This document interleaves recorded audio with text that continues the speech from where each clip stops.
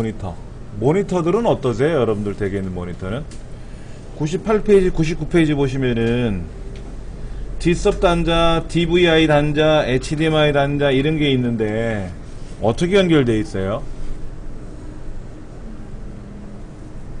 여러분 댁에 있는 컴퓨터 다 보셨을 거 아니에요. 그렇죠? 가장 중요한 건 여러분 컴퓨터 뒷면을 보셔야 돼요. 뒷면.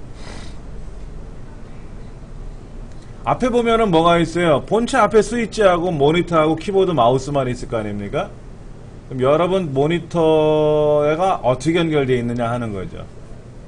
DVI인지 DVI는 하얀 거예요. 그 다음에 D섭은 파란 거나 검은 거. 이렇게 생겼는데 검정색도 있어요. 그러니까 디지털 TV에는 요 D섭이 검게 되어 있어요. 검정으로. 그 다음에 HDMI 단자도 있어요. 어떤 걸 쓰시는 여러분이 기억하셔야 돼요. 여러분 스스로가. 어? 우리 집 모니터 뭐더라? 모르겠는데, 어, 이렇게 되시면 안 됩니다. 알고 계셔야 돼요. 대부분은 D섭, 아날로그 단자로 연결되는 경우가 많아요. 최근에 구입하신 분들은 이제 DVI 단자로 되어 있는 경우도 있고, HDMI 단자로 되어 있는 것도 있고 그래요. 특별한 경우에는 display port라 그래서 어, DP라고 하죠. 줄여서 DP, display port 이렇게 연결되어 있는 경우도 없잖아 있는데 대부분은 HDMI로 연결을 하고요. 이 HDMI는 비디오, 오디오가 같이 송출돼요. 근데 우리 컴퓨터는 오디오는 뒤에 오디오 잭이 있잖아요. 오디오 케이블 있지 않습니까? 따로 연결이 되죠. 따로 연결이 됩니다. 그래서 어,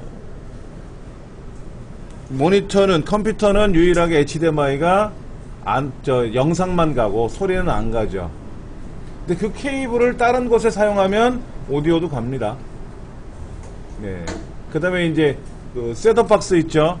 케이블 TV라든지 아니면 그 IPTV에 보면 거기에는 HDMI 단자로 연결이 돼서 비디오, 오디오가 한꺼번에 가는 거죠. 정확히 알고 계셔야 여러분들도 좀 수월할 것 같고요. 잠깐만요. 제가 그림을 하나 좀 볼게요. 요 똑같은 그림이 아닐 수 있지만 한번 좀 보시기 바랍니다. 얘가 컴퓨터라고 보시면 돼요. 컴퓨터 또는 어, 게, 그 게임기 또는 케이블 TV 셋톱 박스 여기에 보면은 HDMI 단자가 뒤에 있어요. HDMI 단자는요 납작하게 돼 있고 어, 좌우로 각이 져 있어요. 좌우로 이렇게 각이 져 있어요. 그러면 그거를 이제 단 여, 연결하는 거죠. 그런데 어디에다 연결하느냐가 중요한 건데요. 어, 요 1번에다 연결하는 거 2번, 3번 또 옆면도 있어요. 옆면도. 옆면 4번. 이렇게 네 가지가 보통 있다고 가정을 하면 여기에는 PC 연결이라는 게 하나 있고 DVI라는 게 있는데요. 주로 여기는 컴퓨터가 연결된다고 보시면 돼요. 컴퓨터. 예. 그 다음에 여기도 보시면은 DVI 출력이라고 되어 있어요. DVI 출력이요. DVI는 우리 책에 있는 디지털 단자 하얀색 뭉치잖아요. 얘를 옆에다 꽂는 거예요. 옆에다 꽂으면은 돼요. 근데 여기서 직접 연결이 안 되니까는 젠더가 있어서 하나 연결되는 거예요. 젠더가. 그러면 요 옆에 PC 입력이라고 하는 부분이 있거든요. PC 입력. 지금 PC 입력이라고 되어 있는 여기 좀 약간 흐리게 보이는데 여기가 이제 모니터로 연결하는 거죠. 컴퓨터 본체에서 또는 우리 집 컴퓨터는 HDMI가 지원이 되고 여기다 연결하는 거예요. 컴퓨터는 무조건 1번. 컴퓨터는 무조건 1번에다 하셔야 돼요. 예. 자, 또 문제는 뭐냐면요. 컴퓨터에 소리가 나야 되잖아요. 그럼 컴퓨터 오디오 있지 않습니까? 뒤에 스피커 꽂은 자리 있지 않습니까? 그거를 선을 쭉 빼가지고 여기 음성에다 집어넣는 거예요. 여기는 음성 출력이라고 되어 있지만 출력 말고 여기 여기 음성이라고 되어 있는 잭 하나 있어요. 그 다음에 디지털 일반 HDMI로 되어 있다 하더라도 여기다 꽂고 소리는 여기다 오디오는 여기다가 그러면 컴퓨터에서는 비디오가 안, 오디오는 안 가잖아요. 비디오는 가는데 오디오가 안 가지 않습니까? 그러니까는 1번과 2번, 여기 1번에만 연결할 수 있어요. 그러니까는 게임기 같은 거나 셋톱박스를 여기 1번에다가 HDMI 1번에다 연결을 하면은 영상은 오는데 소리가 안 나와요, 여기는요. 요 단자는.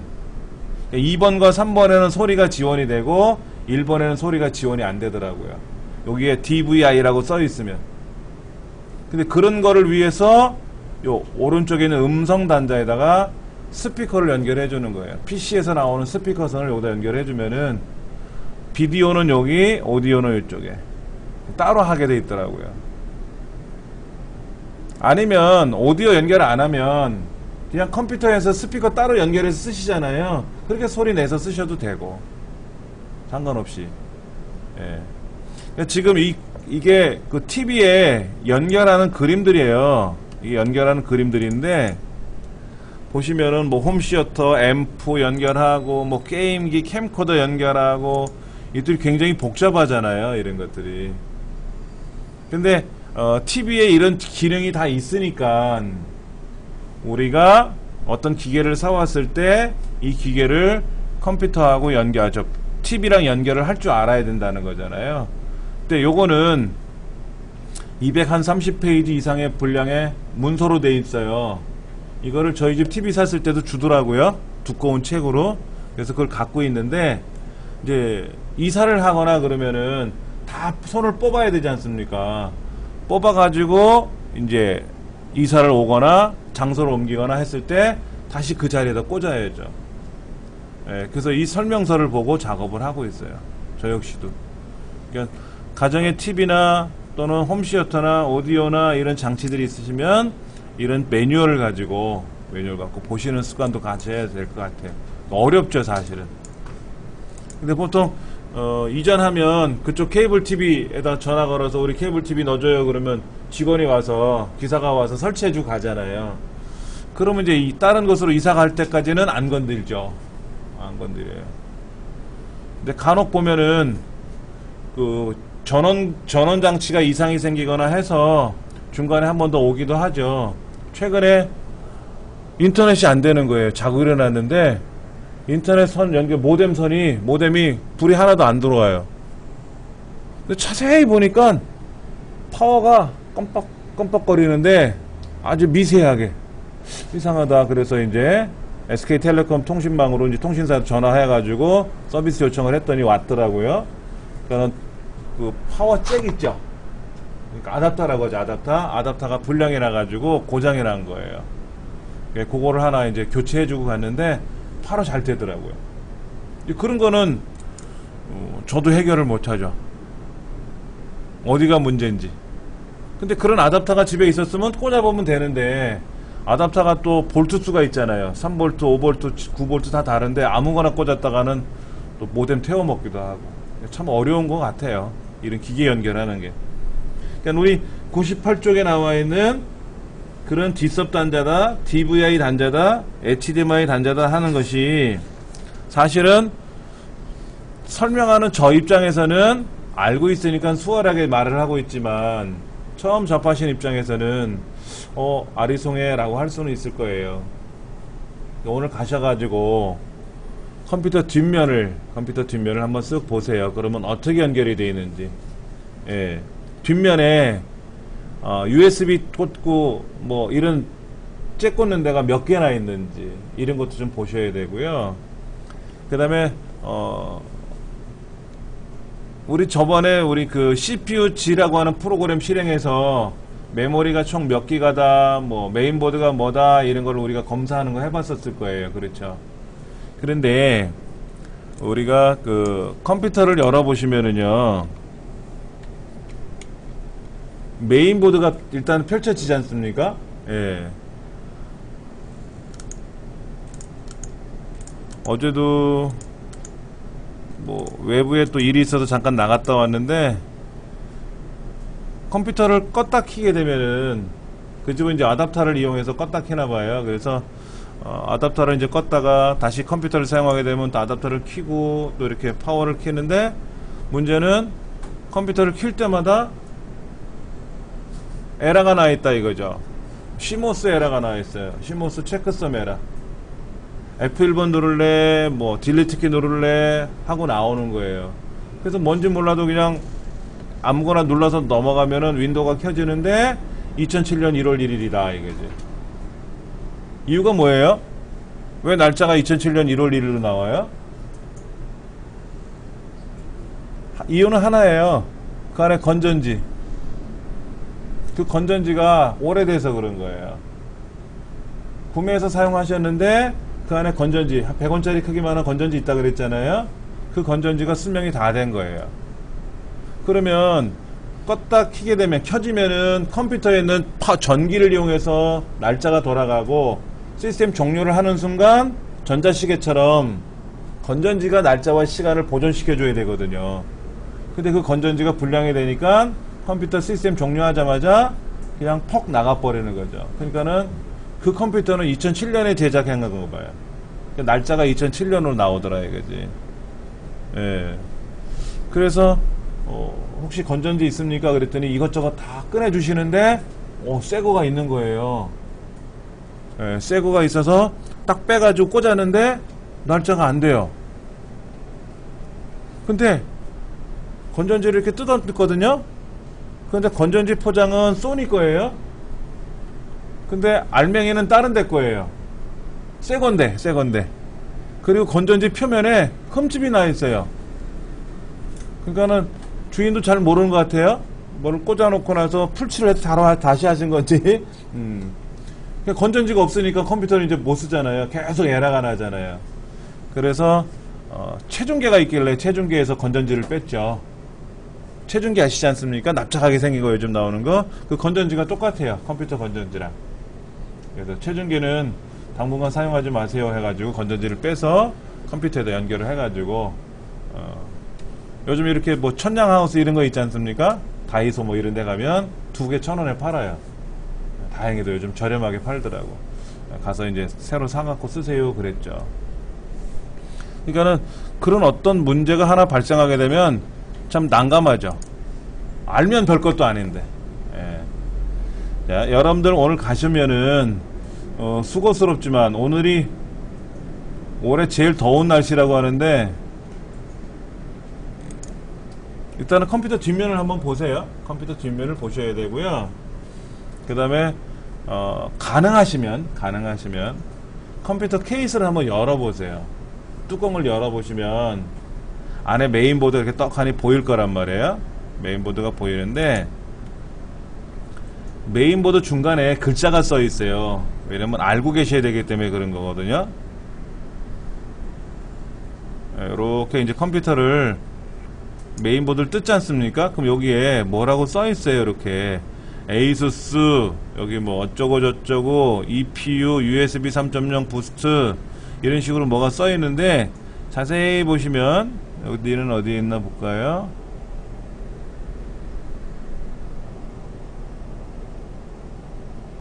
원래 얜 또 왜 안 보이지? 이 메인보드 모델 번호가 안 보이네요.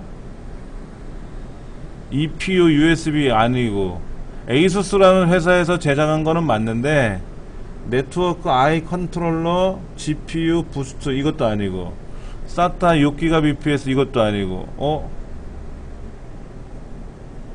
안 나와 있는데? 여기 나와 있어야 되거든 인텔 B85 익스프레스 칩셋이라든지 아니면 여기에 모델 번호가 있어야 돼요 그 모델 번호가 요거죠 요거 요거 요거 ASUS B85M dash 아이보라 이거거든요. 이 글자가 어딘가에 메인보드 중간에 찍혀 있어요. 다른 걸 한번 볼까요? 얘 또 ASUS네.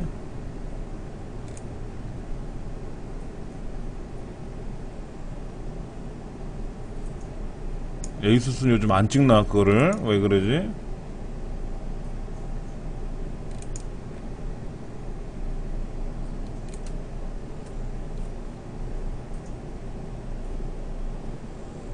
여기는 써 있는 거 보이는데요. 예, 여기 보면은 기가바이트 GAH97 뭐라고 써 있지 않습니까? 예. 여기 GIGABYTE GAH97 Gaming 3라고 이렇게 써 있어요. 그러니까 요것이 이 제품의 모델 이름이거든요. 그럼 만약에 이 컴퓨터에다가 윈도우 7이나 윈도우 8이나 뭐, 뭐 윈도우 10이든 뭐를 설치하게 되면은 드라이버라는 거 말씀드렸잖아요. 지난 시간에 노트북 제가 그 설치하면서 드라이버 문제가 나왔었지 않습니까? 이제 그런 드라이버를 세팅을 하려면은 삼성전자 같은 경우에는 많이 알려져 있으니까 그리고 삼성은 조립해서 쓰는 게 아니라 완제품으로 쓰잖아요. 그러니까 겉 케이스에 써 있단 말이에요. 근데 여러분들이 용산에서 조립을 한다든지 하면은 케이스 따로, 메인보드 따로, 다 따로따로 쓰시잖아요. 그러니까 참 난감하거든요. 예. 어, 근데 우리 거는 LG 거야. 그러면 안 뜯어보셔도 돼요. 우리는 브랜드 제품, 흔히 말해서 대기업 제품이야. TG 삼보야, LG야, 삼성이야, 이런 분들은 겉 케이스에, 겉 케이스. 그러니까는, 음, 파워 스위치 왼쪽 쪽이죠. 옆면에, 옆면에. 모델 번호가 적혀 있어요. 우리도 이게 지금 주연 테크인데 여기에 모델 번호가 이렇게 적혀 있거든요. 본체 왼면 왼쪽 면이에요. 왼쪽 면. 오른쪽은 본체 오른쪽은 벽에 붙는 부분이기 때문에 뭐라 안 붙이고요. 왼쪽에 붙여 놓거든요. 우리 책상에 들어가 있어 잘 안 보이겠지만 슬며시 보면 거기에 스티커 같은 거 붙어 있을 거예요. 예, 그런 스티커에 있는 모델 번호를 어, 알아두시면 되고요. 그 다음에 어, 굳이 뭐 메모는 안 해도 되겠죠? 보면 알 수 있으니까는. 예. 그런데 이제 조립 제품 같은 경우에는 홍원을 뜯어볼 수 없으니까 뜯어서 보셔가지고 메모해 두시면 좋죠. 메모해 두시면 좋고. 그러면 얘는 기가바이트잖아요. 기가바이트. 그러니까 기가바이트라는 업체에 가서 이 모델에 맞는 메인보드 드라이버가 있을 거란 말이에요. 뭐 제가 찾아볼게요. 요 제품이 요 기가바이트 GA-H97이라는 모델이니까는 제가 여기다가 기가바이트 co.kr 들어가 볼까요? 기가바이트 co.kr 기가바이트라는 회사니까는 예, gigabyte.co.kr이나 아니면 네이버에다가 기가바이트를 찾으면은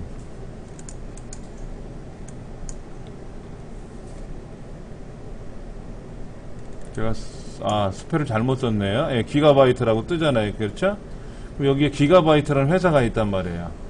이 홈페이지에 들어가서 예, 요 제품이죠. GAH97 Gaming 3라고 하는 거를 이제 찾아볼 거예요.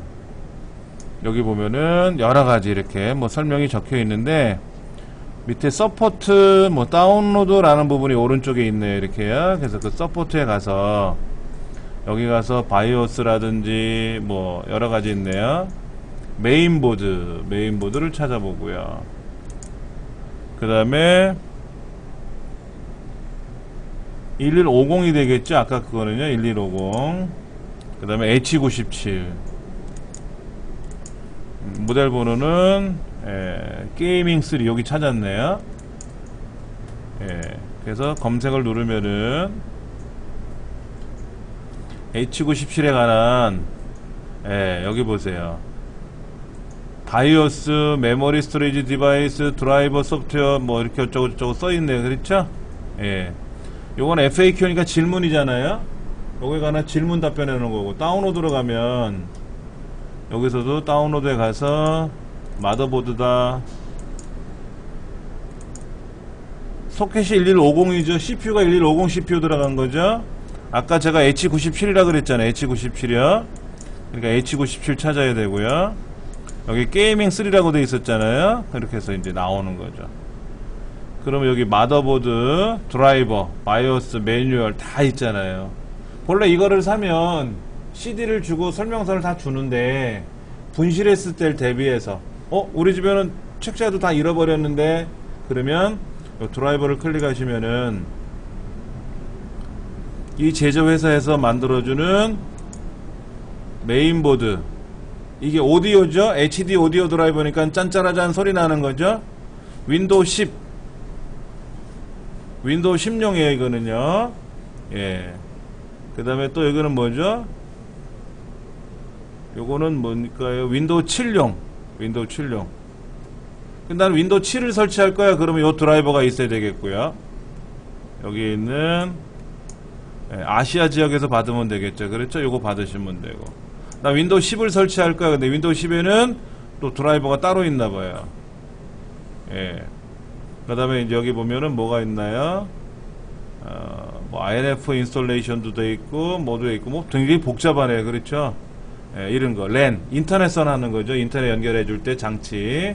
윈도우 7이나 윈도우 8이나 사용하는 거그 다음에 이거는 RAID RAID driver. SATA RAID에 관한 거. 그러니까는 이런 것들이 다 이 안에 있단 말이에요. USB 3.0 드라이버라든지. 그러니까 VGA도 있네요. 그래픽 카드에 연결되어 있는 거 그런 것들을 여러분들이 찾으실 줄 알아야 돼요. 삼성은 그게 잘 돼 있어요. 삼성은 잘 돼 있는데 여기는 기가바이트가 이게 대만인가 그럴 거예요 회사가. 그래서 전화를 걸으면 대만 사람이 뭐라고 하겠죠? 못 알아들으니까. HP 같은 경우에는요 우리나라에도 우리말로 서비스해주는 help 그 상담실이 있단 말이에요. 그 전화 걸면 돼요. 근데 이런 중소기업 제품 외국 수입 제품들이거든요. 메인보드는 100%가 다 수입이에요. 근데 이런 업체들이 우리말 서비스를 해주면 좋은데 홈페이지도 다 영어잖아요. 그렇죠. 그러니까 더 어렵기도 하죠.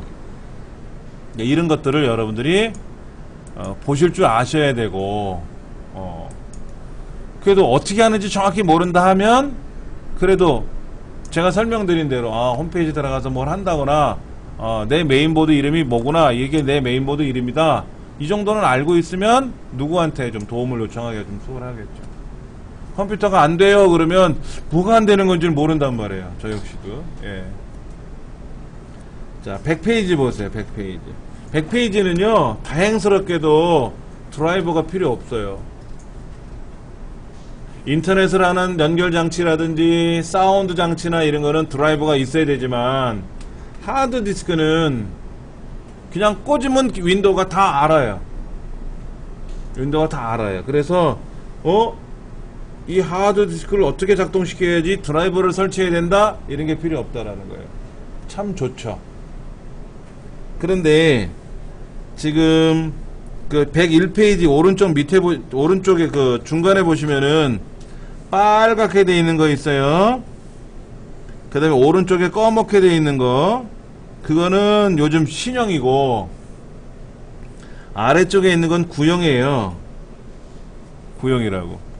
근데 여러분들이 댁에서 컴퓨터를 조립을 하시거나 아니면 나는 삼성 거를 쓰고 있는데 하드를 하나 더 달고 싶어 이럴 수도 있어요 아니면 외장 하드를 쓰고 싶다 그러면 외장 하드를 내가 별도로 살 건지 아니면 케이스 따로 사고 뭐 따로따로 사가지고 내가 조립을 해볼까 이런 생각도 가져볼 수가 있거든요 이거죠 이거 이거 이게 하드인데 1테라가 52,000원이고 어 아침에 어젠가? 어젠가?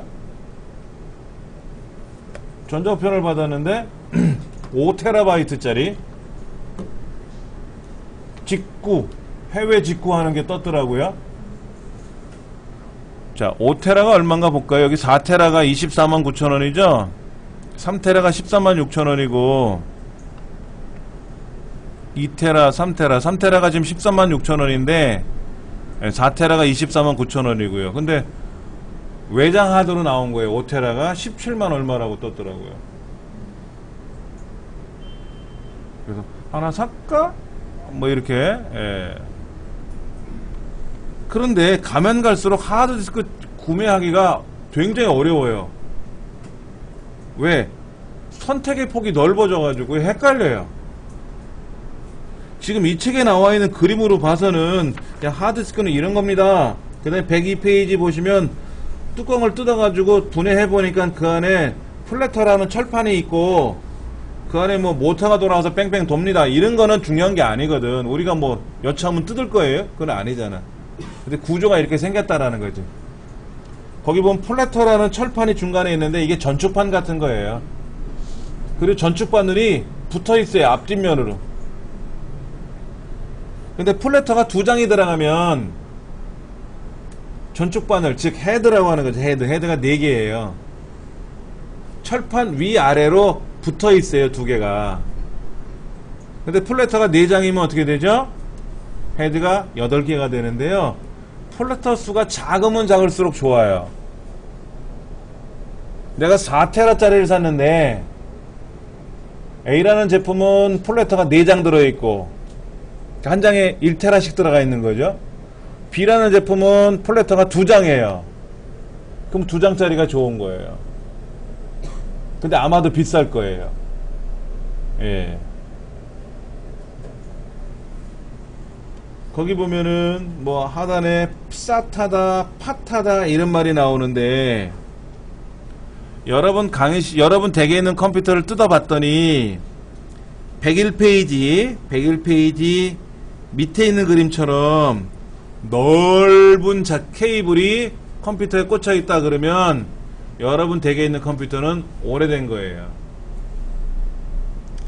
그런데 거기 빨간 케이블 있잖아요. 얇은 거요. 그게 빨간색도 있고요. 검은색도 있고 색깔은 좀 다양한데 대부분 빨간색이 많이 들어가 있거든요.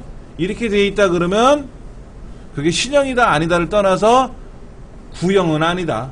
이렇게 보시면 돼요. 그러면 과거에 이 밑에 있는 파타는요. 이런 기계를 사서 조립을 해서 연결을 하려면 되게 복잡해요. 기존에 하나가 있는데 하나를 더 사서 꽂으려 그래. 엄청 어려워요. 그런데 요즘 나오는 장치 SATA 방식은요. 그냥 꽂으면 꽂으면 되게 편해요. 다 꽂으면 바로 작동이 돼요. 하물며 전원이 꺼져 있는 상 켜져 있는 상태에서 뺐다 꼈다 해도 고장이 안 나요. 근데 옛날 병렬 방식, PATA 방식은요. 전원이 켜져 있는데 결합하거나 분리하거나 그러면 타버려요. 근데 요즘 직렬 방식이라고 하는 사타는 전원이 켜져 있어도 이상이 없는데 가급적이면 메인보드 안에 있는 장치들은 전원이 꺼놓은 상태에서 조립을 하고 연결하는 게 가장 좋습니다. 예.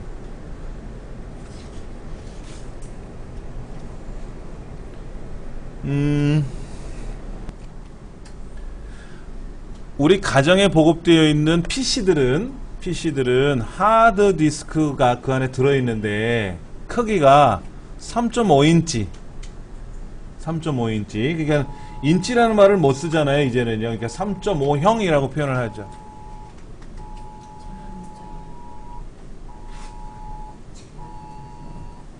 그 다음에 노트북용은 2.5형 2.5인치 그래요. 자 여기 한번 볼게요. 제가 지금 그 다나와에서 하드 디스크를 지금 보고 있는데요. 여기 보니까 3.5형, 3.5형, 3.5형, 3.5형 다 3.5인치 형태라고 표현이 되어 있는 것 같아요. 근데 2.5인치도 있는데요. 여기 보면 2.5인치라고 써 있네. 예, C게이트 2TB. 예, 여기는 노트북용이라고 써 있고 2.5형이라고 써 있어요. 노트북용인데 2테라래 2000기가 엄청나게 좋네요 그렇죠 그 다음에 얘는 어, 서버용 하드래요 서버용 하드 그런데 3.5인치고요 무상 서비스를 3년 해주고 그런데 메모리가 메모리가 32메가바이트가 있고 어, 여기 보면 16메가바이트가 있고 이 안에도 보면 메모리가 64MB 이런 게 있어요. 예. 근데 얘는 서버용이라 그래 놓고 메모리가 이건 64MB고 어떤 거는 또 뭐 32MB도 있고 좀 다른 것 같아요. 요거는 32MB예요. 이것도 서버용이라고 써있죠? 요것도 서버용이고요. 이거 3테라바이트네요. 3테라바이트고요. 그러면 우리가 하드 디스크를 쓰- 구매하실 때 어떤 거를 써야 되느냐 하는 거죠. 네, 어떤 거를 써야 되느냐 하는 건데 어, 그냥 일반적으로 일반적으로 뭐 아무런 설명이 없는 간- 단순한 것들이 있어요. 단순한 거 이런 모델들은 가격이 좀 저렴하고요. 1테라가 52,000원이래요. 어, 그다음 이건 서버용이고 64메가바이트라고 되어 있는데 어, 평균 무고장 시간이 100만 시간이래요. 100만 시간. 그러니까 컴퓨터 하드디스크를 구매했는데 어 이거 이상 있어요 하고 수리를 들어올 수 있지 않습니까? AS 요청을 하잖아요. 그때까지 평균을 재보니까는 대충 100만 시간은 쓰고 고장이 나더라 이거지. 그럼 100만 시간이면 며칠이에요? 계산이 안 되는데?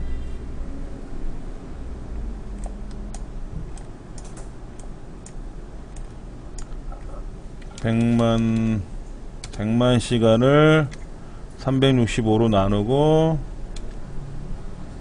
얘를 또 10시간씩 나누면은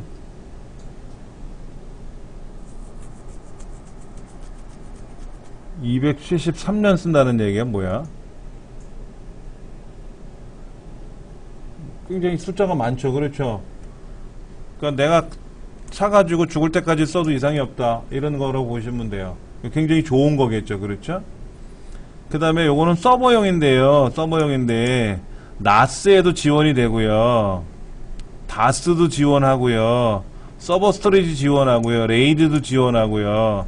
영상 편집하는 사람이라든지 빅데이터 같은 거를 처리할 때든지 그 다음에 일반 컴퓨터에도 사용이 가능하대요. 그 이런 말이 많은 걸 봐서는 얘가 굉장히 좋으니까 성능이 좋으니까는 빅데이터 처리하는 데도 사용한다는 거고 영상 편집 같은 거 하려면 하드디스크가 빨라야 되거든요. 더디면 영상 작업이 불편하니까. 그 다음에 서버용으로도 사용할 수 있으니까 서버 저장 공간을 쓸 수 있으니까 좋은 거죠. 3TB예요. 그럼 13만 6천 원이면 음, 요거는 또 뭐예요? 서버용인데 4TB고요. 근데 얘가 RPM 숫자를 보실래요? RPM? RPM이라는 말이 나와요. 하드디스크 구매하실 때 여러분 RPM 보셔야 되는데 1분에 얼마큼 많이 회전하느냐 하는 회전수인데 보통 PC용은 7200이에요. 1분에 7200바퀴가 돌아요. 근데 얘는 5900rpm이라고 되어 있는 걸 봐서는 회전수가 늦잖아요. 회전수가 느리면 빨리 안 움직이는 거죠. 예. 한번 요것도 생각해 봐야 돼요. 근데 그 위에 있는 거는 그 히타치 거예요. 히타치 거. 요거는 Seagate고요. 그 다음에 WD라고 되어 있는 거는 Western Digital이라 그래요. Western Digital. Western Digital. 여기도 보니까는 3TB, 3TB가 10만 1000원 정도 하는데 요건 3테라가 13만 6천 원이니까 한 3만 5천 원 비싸잖아요. 비싼데 성능이 굉장히 좋은 건가 봐요. 그 다음에 여기 2테라바이트도 있고요. 2테라바이트도 있고. 2테라바이트는 8만원 정도 하고요. 요거 4테라네요, 4테라. 4테라인데 RPM이 낮아요. 5,900이에요. 어, 14만 4천원이고요. 어, 한번 생각을 해봐야 될 것 같아요. 요거는 15만 7천원이죠. 자, 메모를 좀 해드릴게요.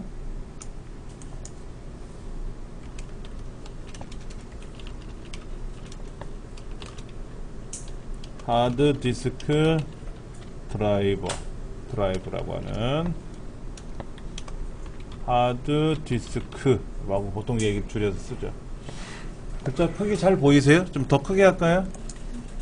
좀 크게 해서 보여드릴게요. 여러분이 컴퓨터를 구매하신다 그러면 그 중에 어떤 부품을 어떤 거를 써야 되느냐 하는 고민을 많이 하게 돼요. 그런데 이 책에 보면은 여기 지금 컴퓨터에도 나와 있지만은 어, PC용인지 PC용인지 아니면은 노트북용인지 이것도 생각을 해봐야 돼요. 그러니까 PC용은 크기가 3.5형, 3.5인치 정도 되고요. 노트북용은 2.5인치예요. 그 다음에 이제 인터페이스를 봐야 돼요. 인터페이스라 그래서요. 어, 요즘은 다 SATA 방식을 쓰죠. SATA 방식. 예. SATA 방식을 사용한다. 그 다음에 이제 속도도 봐야 돼요. 속도. 속도는 SATA 3인지 SATA 3는 6기가 bps라 그러고요. 아니면 SATA 2인지 SATA 2는 3기가 bps고요. 근데 요즘 SATA 2안 팔아요. 다 SATA 3 팔아요. 최근 거로 다 팔아요. 아, 최근 게 잘 나와 있는데 뭐하러 구형 거를 판매하겠습니까? 예. 그러니까 여기 잠깐 보시면은 잠깐 보시면은 SATA 3라고 돼 있어요. SATA 3. 예. 그러니까 인터페이스는 파타 방식이 있고 SATA 방식이 있는데 요즘 파타 방식 자체가 안 나오고 다 SATA 방식으로 나오고 그 다음에 이제 SATA 3 방식, SATA 3가 속도가 빠른 거죠. 이거를 보셔야 되고. 그 다음에 또 뭐를 보셔야 되냐면 네 번째가 용량이죠, 용량. 뭐 500GB를 쓸 건지 1TB를 쓸 건지 2TB를 쓸 건지 뭐 3TB를 쓸 건지 요즘 뭐 4TB를 쓸 건지 뭐 이런 말이 나온단 말이야. 예. 그 다음에 RPM도 보셔야 돼 RPM RPM은 어, 5200이 있고요. 그 다음에 5400 5400 있고 7200이 있어요. 7200이 낫겠죠? 회전수 빨라야 작동이 잘 되는 거니까. 그 다음에 어, 버퍼가 있어요 버퍼. 버퍼. 다른 말로 여기서 캐시라고도 얘기하는데 여기 보면은 메모리가 있어요 메모리.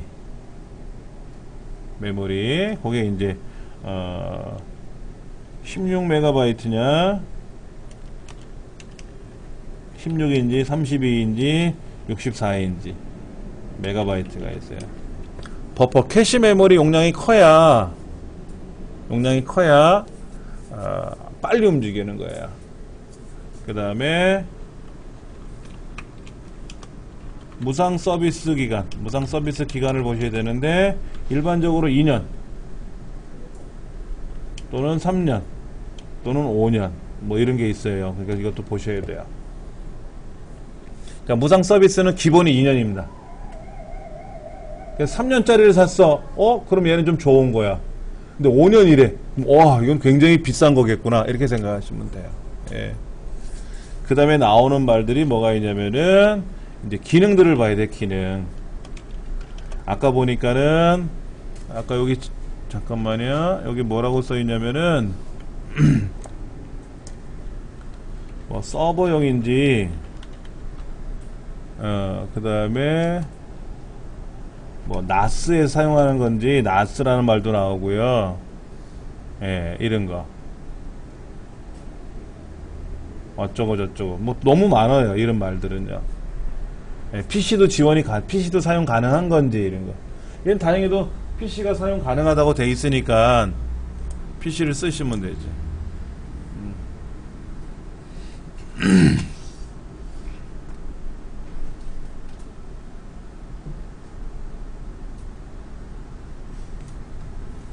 그런데 여러분들이 이 하드디스크를 사용하실 때는요 과거에는 윈도우를 여기다 설치하고 여기다 데이터를 보관하고 많이 했는데 요즘 추세는 하드디스크는 저장 공간으로 사용하는 거예요.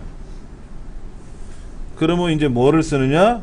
SSD라는 걸 사죠 SS solid state disk라고 하는 예, 이 SSD라고 하는 장치를 사서 이곳에 이곳에 예, 윈도우를 설치한다 이거죠.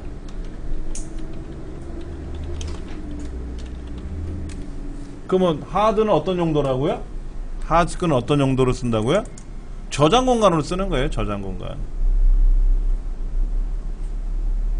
근데 SSD가 비싸요.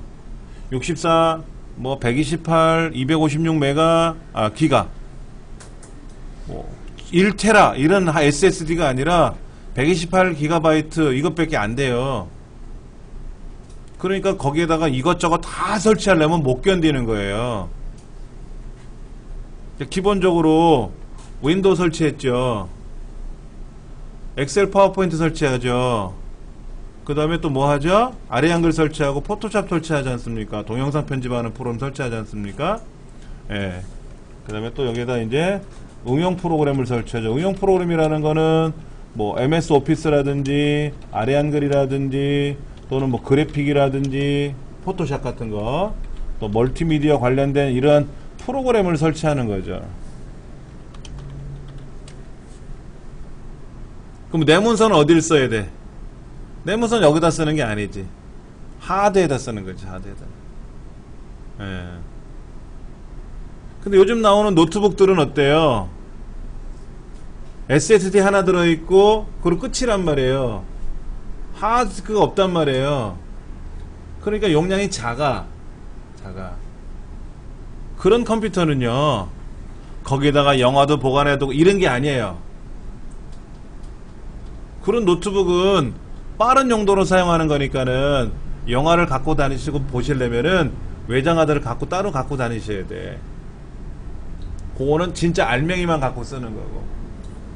우리 큰애 같은 경우에는 이 SSD를 안 썼어요. 그냥 하드를 샀어요. 2000기가짜리로. 2000기가 하드를 달아서 거기다 윈도우도 쓰고 거기다 데이터도 보관하고 어, 이렇게 하게끔. 관리를 못해요 얘가. 그러니까 용량 큰 걸 해서 네 마음대로 써라 이거지. 그래서 어느 날 갑자기 얘가 아빠 용량이 부족해요. 라고 하면 제가 싹 정리해서 주면 되니까 안 할라 그래 야 네가 좀 관리를 해라. 그랬더니 아빠가 하면 되지 왜 내가 해. 그래 그래 네 말대로 해라. 그랬죠. 어. 그걸 제가 강요하기가 그렇더라고. 그러니까 이제는 이제는 하드 디스크 용량을 큰 거를 쓰시는 게 추세예요. SSD를 사용하는 게 추세고요. 그런데 어, 우리 집 컴퓨터는 구매한 지 한 5, 6년 됐어요. 거기다 SSD를 따로 사고 이렇게 하지 마시고 새로 이제 컴퓨터를 구매하신다 그러면 SSD에다가 SSD를 구매하셔서 윈도우를 설치하고 또 하드 디스크를 또 사, 구매하셔서 데이터 보관용으로 쓰시고 이렇게 하셔야 되는 게 요즘 추세가 그렇더라 이거지. 음. 어디 보시냐면 107페이지 보시면은요. 뭐 2.5인치를 쓸 건지 3.5인치를 쓸 건지 뭐 SATA 방식 1, 2, 3를 쓸 건지 거기 EIDE라고 써 있죠. EIDE. 이 107페이지 두 번째 보면 SATA냐 EIDE냐라고 했는데 EIDE가 여기죠 요거 요거 요. SATA 방식인지 다른 말로 말하면 PATA 방식인지 이런 건데 PATA. PATA라고 하는 건데 이거를 다른 말로는 EIDE라고 돼요. 옛날 옛날 병렬 방식이에요 이건 병렬. 음. 근데 요즘은 이 PATA EIDE 방식이 거의 없어요. 메인보드 자체가 지원이 안 돼요. 요즘 나오는 컴퓨터들은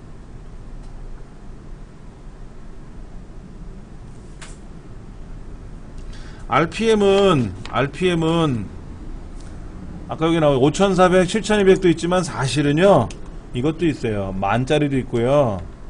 15,000짜리도 있어요. RPM이 15,000짜리도 있어요. 15,000짜리. 5400, 7200, 7200도 빠른 건데 PC용은 7200으로 쓰시면 돼요. 근데 이제 만짜리나 15,000짜리는 어, 이거는 가격이 달라요 저번에 보니까는 뭐 300기가짜리? 300기가면 500기가보다 작은 거잖아요? 아까 500기가 얼마라고요? 6만원 뭐 이렇게 썼죠? 근데 300기가짜리가 뭐 60몇만원? 뭐 이러더라고요. 근데 RPM이 15,000원이에요. 15,000원. 15,000원이 아니라 15,000짜리. 근데 그게 이유가 있어요. 서버용 하드가 따로 있어요 아까 보니까 여기는 서버용으로 사용합니다. 서버용이라고 써있지만은요. 이거는 서버용이 아니라 PC용은 PC용인데 좀 성능이 좋은 PC용이지 서버용은 사실은 아닙니다. 잠깐 보여드릴게요. 어, 여기 있네요 여기 여기 여기 보시면 SCSI라고 되어 있는 거 있어요 SCSI 이 SCSI라는 한 하드가 이게 서버용 하드예요 보세요. 300기가 45만 9천 원이잖아요. 300기가가 이건 뭐예요? 73기가죠? 73기가짜리가 30만 원이에요. 엄청 비싸잖아요. 그렇죠? 146기가 33만 원. 300기가 55만 원. 이 이유가 비싼 게 이거는 서버로 쓰는 거기 때문에 여기 보면 만 RPM 뭐15,000 RPM 이러잖아요. 이거는 우리가 쓰면 불편해요 어 우리가 쓰면 좋겠다 나 이번에 복권도 당첨되는데 이거 사야지 하지 마세요 개인용 컴퓨터를 쓰기에는 부적합합니다 음. 그런데 여기 보면 스- 그 SAA, SA SCSI라고 되어 있는 것도 있어요. SA SCSI. 요거는 뭐냐면 직렬 방식. 그 SATA 방식의 SCSI라고 보시면 돼요. 새로 나온 건데요. 얘는 가격이 좀 많이 저렴해요. 예, 이건 1000 RPM, 7200 RPM 뭐 이렇게 되어 있는데 예, 가격이 그렇게 비싸지는 않아요. 옛날 거에 비해서는. 근데 이거는 굳이 우리가 살 필요 없는 제품들이고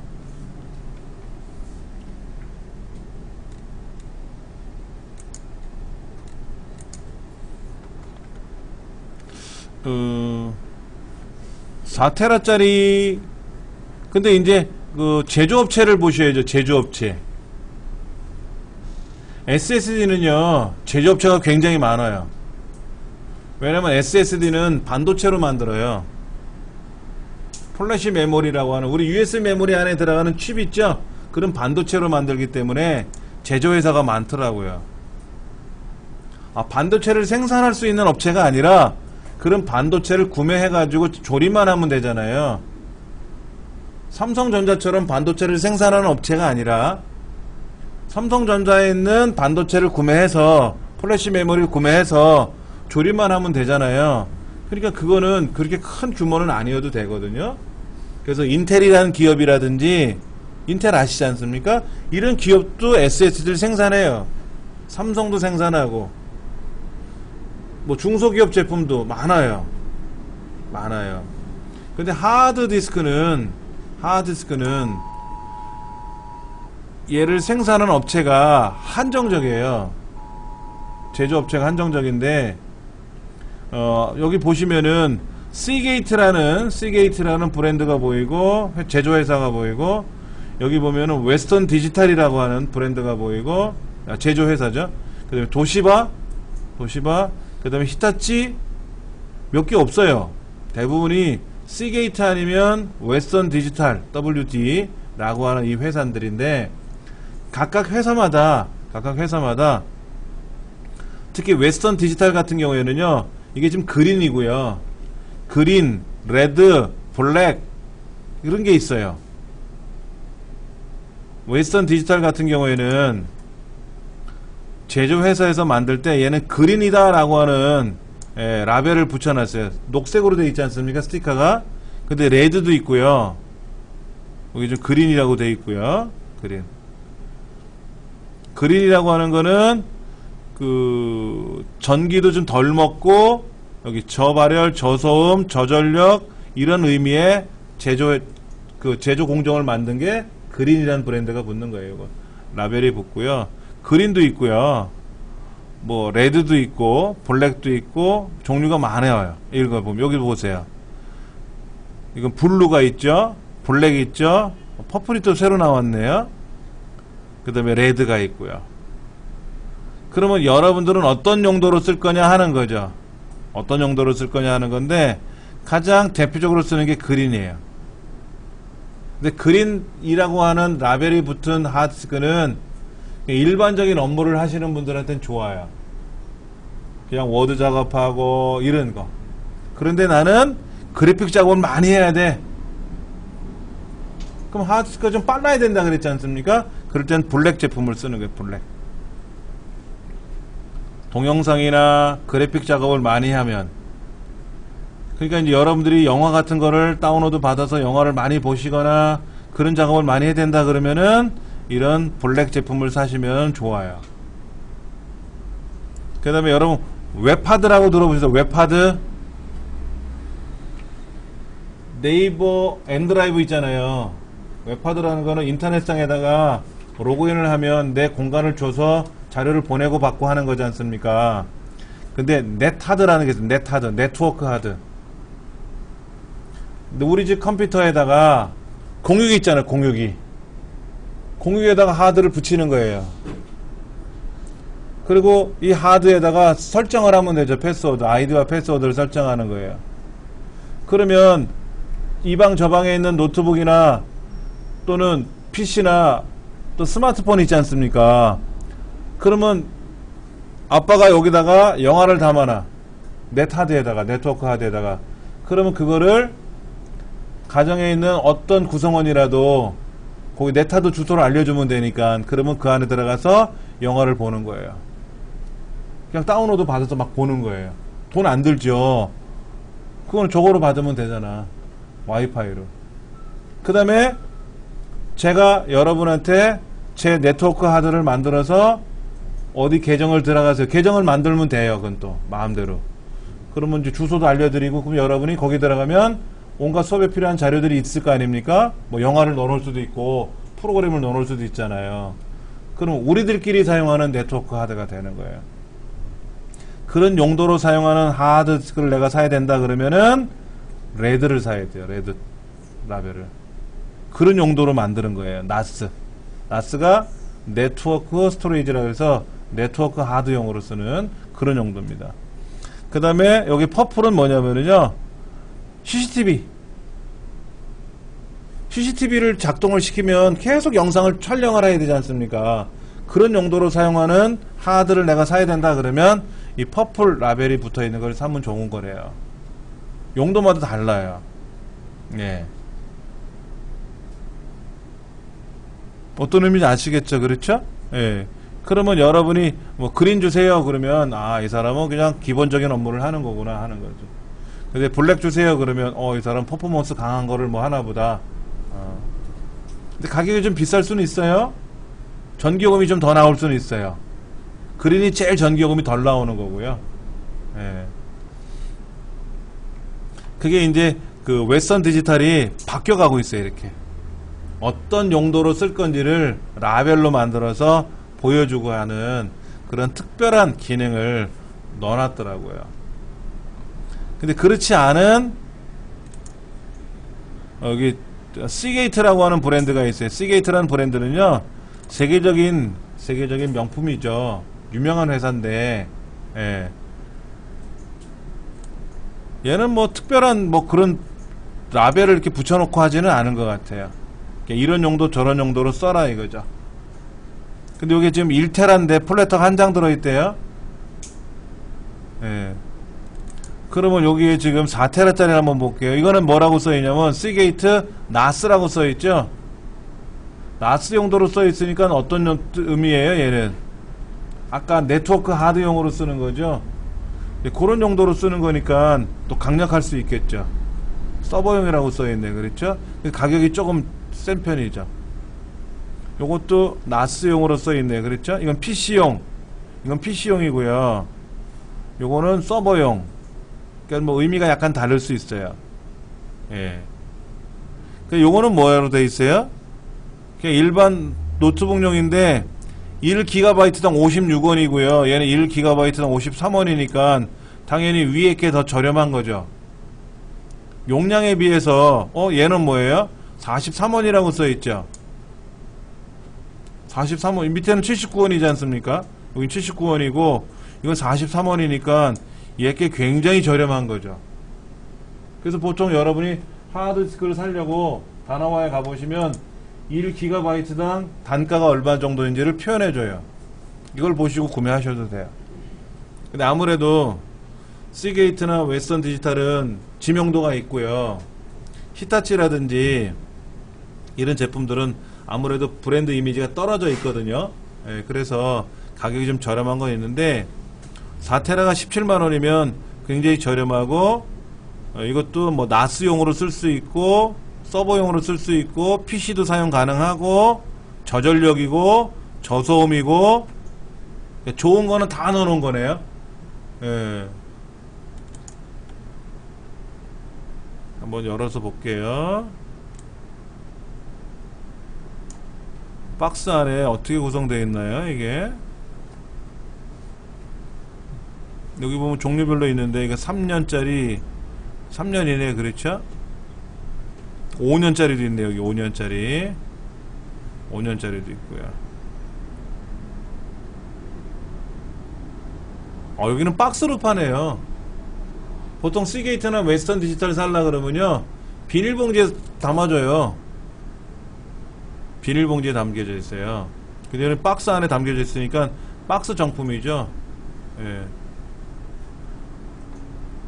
음, 히다치 하드디스크 좋아요. 나름대로 이- 이것도 좋습니다.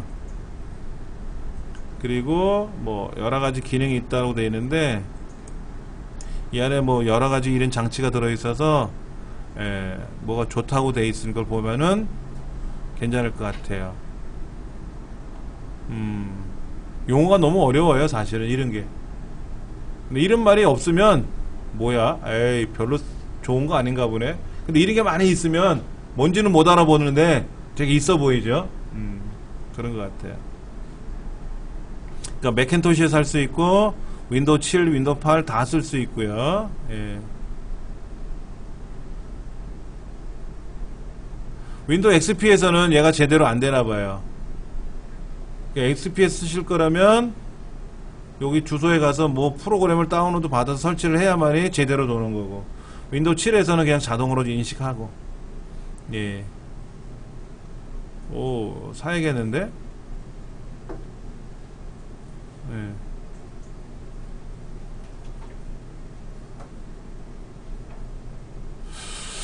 음, 결정했습니다. 안 그래도 하드디스크를 좀 사야 되는데 용량 큰 거를 사야 되는데 지금 어떤 걸 사야 되나 고민을 하고 있었는데 예, 괜찮은 것 같아요. 근데 걱정되는 게 버퍼 메모리가 작아.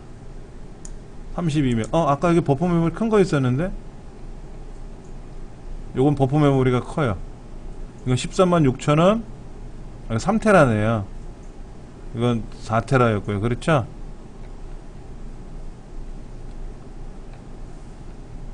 어, 3테라고 잠깐만요.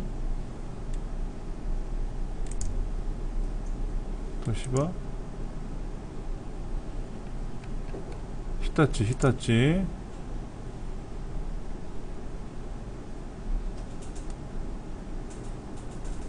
어, H, HGST 이거였죠?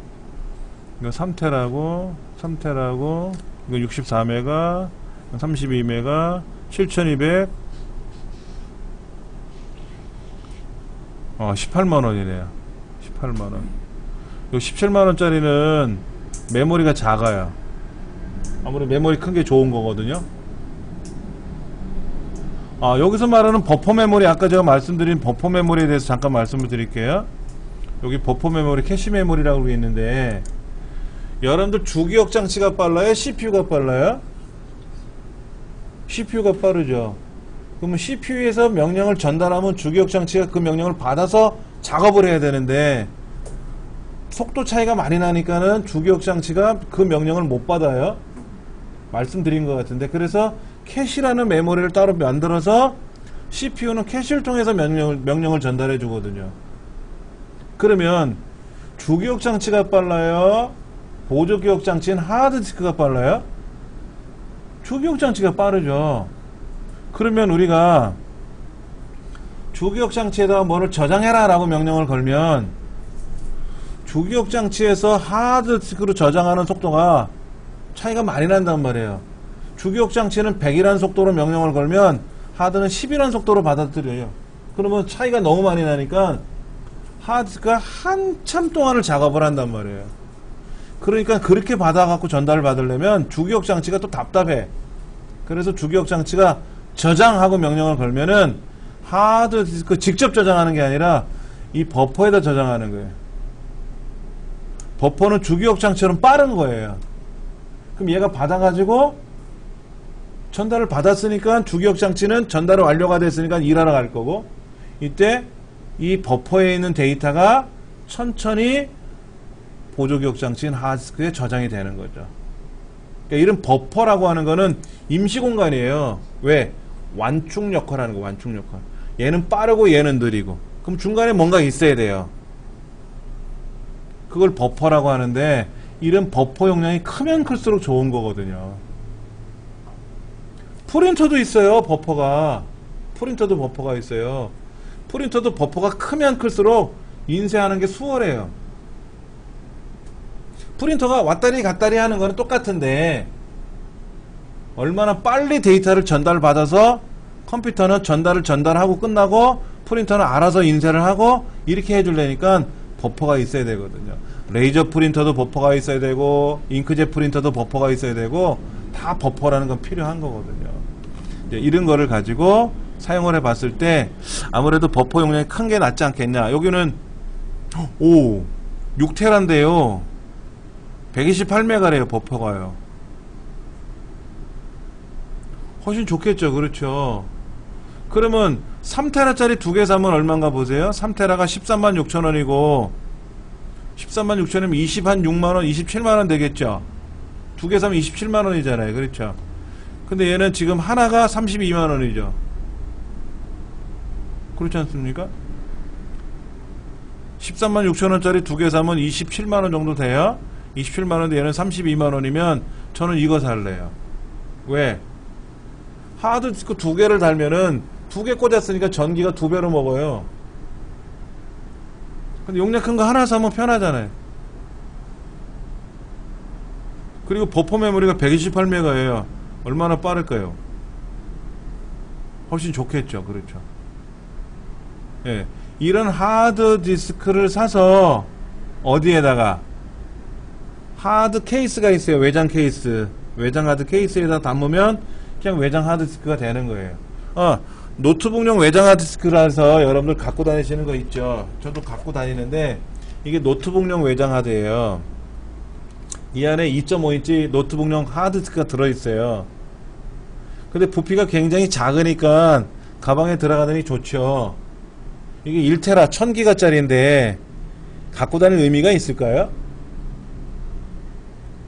저도 지금 수업에 필요한 자료들은 다 USB 메모리 갖고 다니는데 여기는 제가 수업에 필요하지는 않지만은 혹여나 혹여나 해서 이 안에 온갖 프로그램 다 갖고 다니거든요. 근데 이건 어쩌다 한 번씩 쓰는 거거든요. 모든 건 다 USB 메모리 갖고 다니니까. 근데 얘는 단점이 뭐냐면 충격에 민감해요. 어디 쿵 부닥치면 손상이 보여.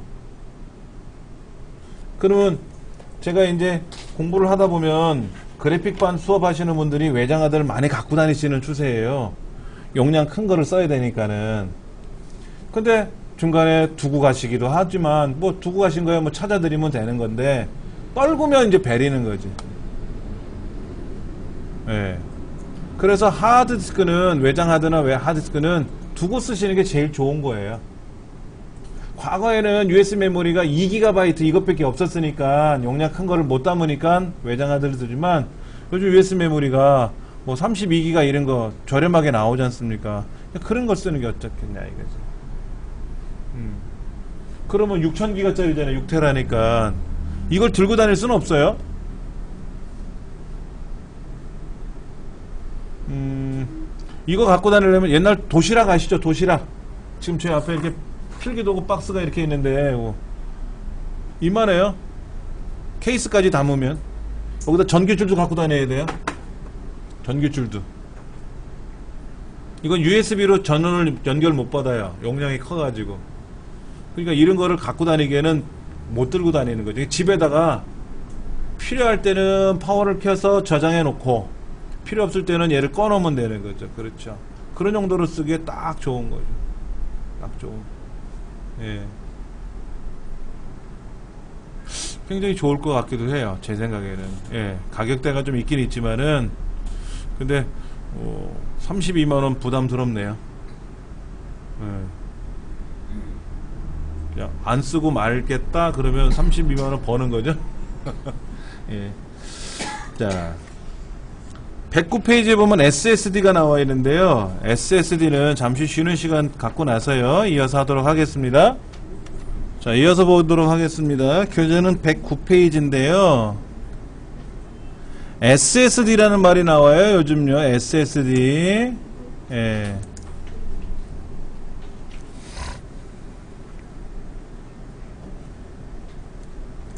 SSD는 solid state disk라 그래서요. 기존의 하드 디스크라고 하는 거는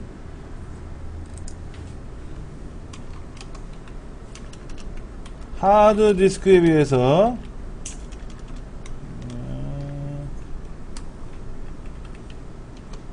하드 디스크에 비해서 어, 회전이 없죠. 회전이 없고 그러다 보니까 진동이 없어요. 회전은 하드디스크는 7200바퀴 돌아 1분에 그러니까 굉장히 빠른 속도로 회전을 하다 보니까 진동이 생겨요. 그러니까 또 뭐가 생길까요? 소음도 발생하겠죠? 그리고 발열이 좀 적어요. 열이 좀 덜 난다고. 발열이 없을 수는 없어요. 열은 나죠. 여러분 USB 메모리 뜨거운 적 있어요? USB 메모리 한참 사용하다 보면요. USB 메모리 이렇게 손잡고 뺄라 그러면 어 따뜻하네 이게 느껴질 때가 있어요. 그런데 하드 디스크는요. 한참 작동할 때 갖다 대면은요. 깜짝 놀래요. 쩍쩍 달라붙지는 않더라도 질 정도예요. 그렇게 열이 많아요. 근데 그 열을 이제 내부에서 컴퓨터 케이스 안에서 본체 안에서 이제 그 안에 팬들이 뒤에 있지 않습니까? 그 팬에 의해서 이제 열이 밖으로 빠져나가는 건데 그러니까 그것까지 다 감안해서 뭐 굉장히 뜨거워질 때까지 작동이 되게끔 하고 있겠지만은 SSD는 반도체예요, 반도체. 예, 반도체로 만들다 보니까는 반도체도 열이 나요. 반도체도 열이 나는데 덜 나죠. 그리고 얘가 붕붕 하는 소리, 소음도 없죠. 그 다음에 뭐가 막 흔들리거나 이러지도 않고, 회전이 없으니까는. 그러니까는 충, 또, 뭐가 가장 좋은 거는 충격에, 충격에 비교적 강하다 이거죠. 하드디스크는 모르고 들고 가다 떨구면 버리는 거예요. 근데, 어, SSD는 충격이 좀 약, 강해요. 비교적 강한 편이에요. 왜냐면 그 플래시 메모리가 USB 메모리 같은 경우에는요. 옷에다 집어넣고 세탁기에다 세탁하고 어? 여기 있었네 꺼내가지고 물기 다 빠졌으니까 꽂아서 사용해보기도 하고 이상 없더라고요. 음. 근데 이제 SSD는 그렇게 뭐 세탁기에다 집어넣고 있을 그런 문제는 아니에요. 왜냐면 부피가 좀 있으니까. 예. 우리 핸드폰 있죠, 핸드폰. 우리 핸드폰 굵기로 굵기 정도, 두께 정도 돼요. 크기는 우리 종이컵, 종이컵 높이 정도?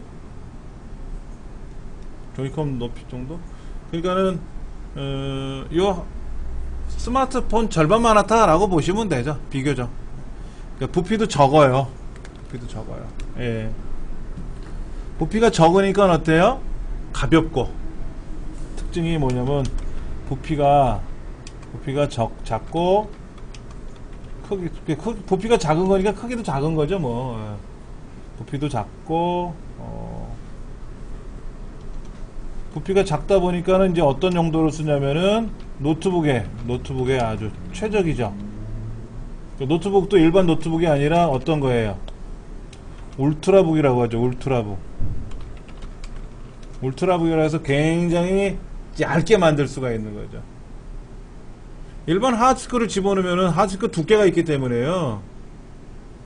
뭐 작게 만들 수는 없는데 부피가 작으니까 노트북에 노트북에 아주 최적이죠.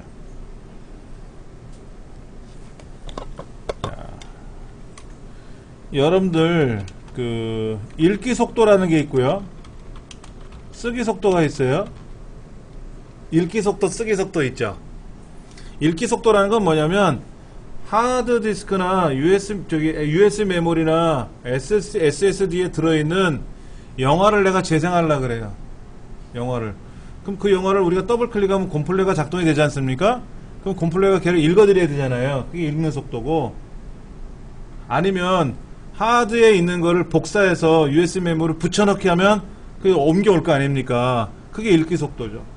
쓰기 속도는 반대로 USB 메모리에 있는 거를 복사해서 하드디스크나 SSD에다 붙여넣기 하면 그로 들어갈 거 아닙니까? 그게 쓰기 속도인데 읽기 속도가 비- 더 빨라요, 얘가. 하드 디스크에 비해서 예, 속도가 빠르다.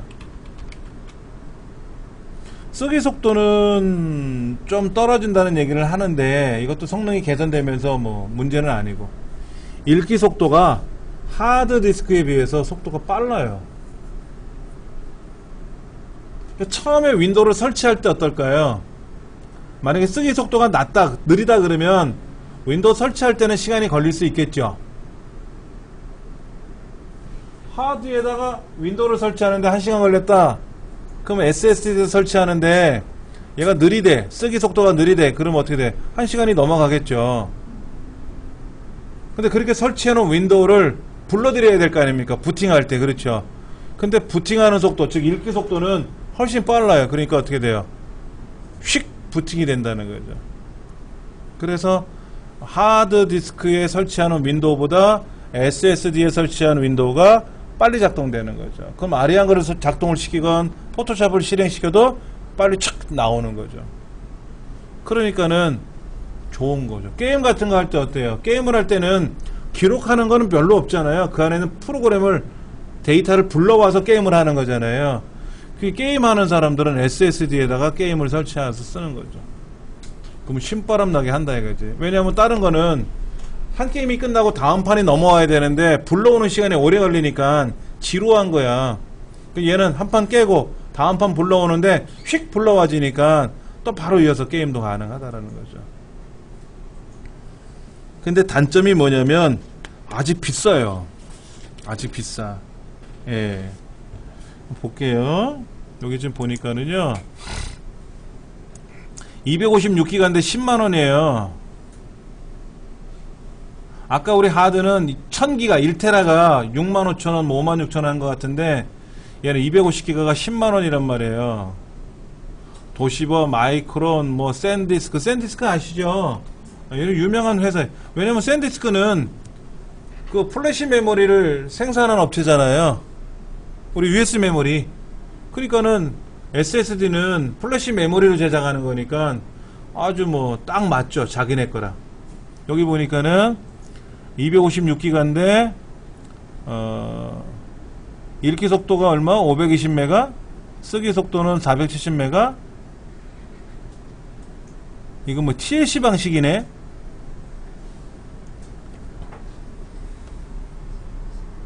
얘는 TLC 방식이고 얘는 MLC 방식이고 여기 MLC 방식이라고 되어 있어요. TLC, MLC, 삼성전자 거, 삼성전자 120기가 때 얘는 읽기가 540, 쓰기가 520. 어?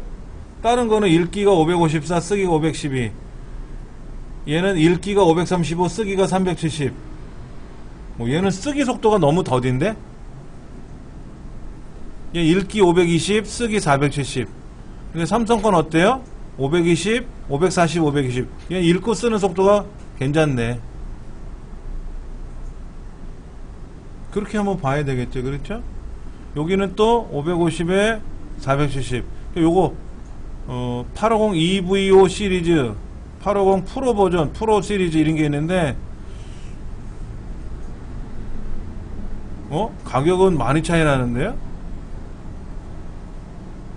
얘는 10년. 서비스 기간이 10년이고.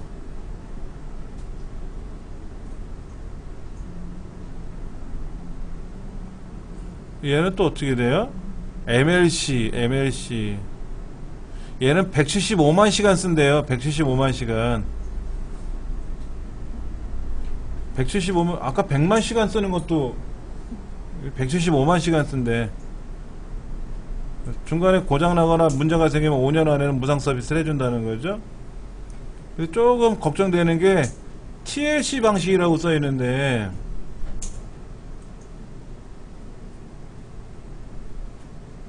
우리 책을 좀 한번 볼게요.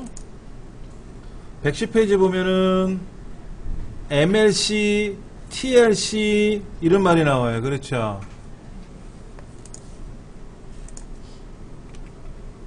이제 방식에 보면 SLC는 없죠. MLC는 있죠. TLC도 있죠. SLC는 없죠. SLC는 싱글 하나라는 뜻이고요. MLC는 멀티 두 개라는 뜻이고요. TLC는 트리플 세 개라는 뜻이에요. 음.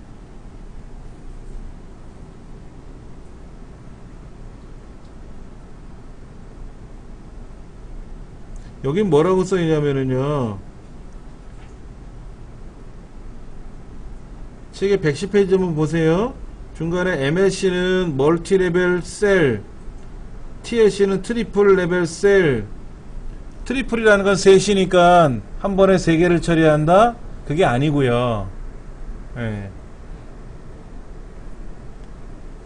여기 뭐라고 써있냐면은 한 개의 소자가 2비트를 가질 수 있으며 TLC는 한 개의 소자가 4비트를 가질 수가 있고 뭐 2비트와 4비트를 저장할 수가 있고 뭐 그런 게 아닙니다 라고 써 있어요. 그만큼 데이터를 처리하는 게 아니고 데이터를 저장을 할때 예. SLC는 한 개를 한 세트로 보고 MLC는 두 개를 한 세트로 보고 TLC는 세 개를 한 세트로 보는 거예요. 근데 SLC는 뭐냐면은 쉽게 말해서 데이터가 한 곳에 저장돼요. 하나의 데이터가. 근데 TLC는 세 개 데이터가 한 곳에 들어가요. 그 데이터를 불러오는데 이건지 저건지 골라야 되잖아요. 셋 중에 하나를. 그러니까 불러오는 시간이 어떨까요? 더디다는 거예요. SLC 방식이 가장 비싸요. 가장 비싸요. 옛날에 US 메모리도 지금 우리가 쓰는 US 메모리는 다 MLC 방식입니다. SLC 방식의 US 메모리는 비싸서 못 써요. 예. 간혹 보면은 US 메모리인데 터무니없이 비싼 게 있어요. 그건 SLC 방식입니다. 예. 어, 저희 집 컴퓨터에서요, 제가 한번 보여드릴게요.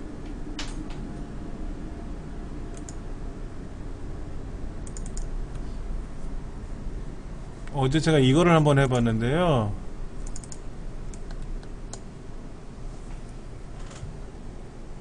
제가 US 메모리 강의를 하지 않습니까? 제 강의를 하면 요거를 동영상으로 제작을 한다 그랬잖아요. 그 동영상으로 저장한 거를 저희 집 컴퓨터에 가면 옮겨놔요. US 메모리 다 갖고 있을 수 없으니까는. 근데 복사해서 붙인 거, 아, 잘라내기 해서 붙인 거죠? 근데 속도가 얼마나 오나 보세요. 214MB per second죠.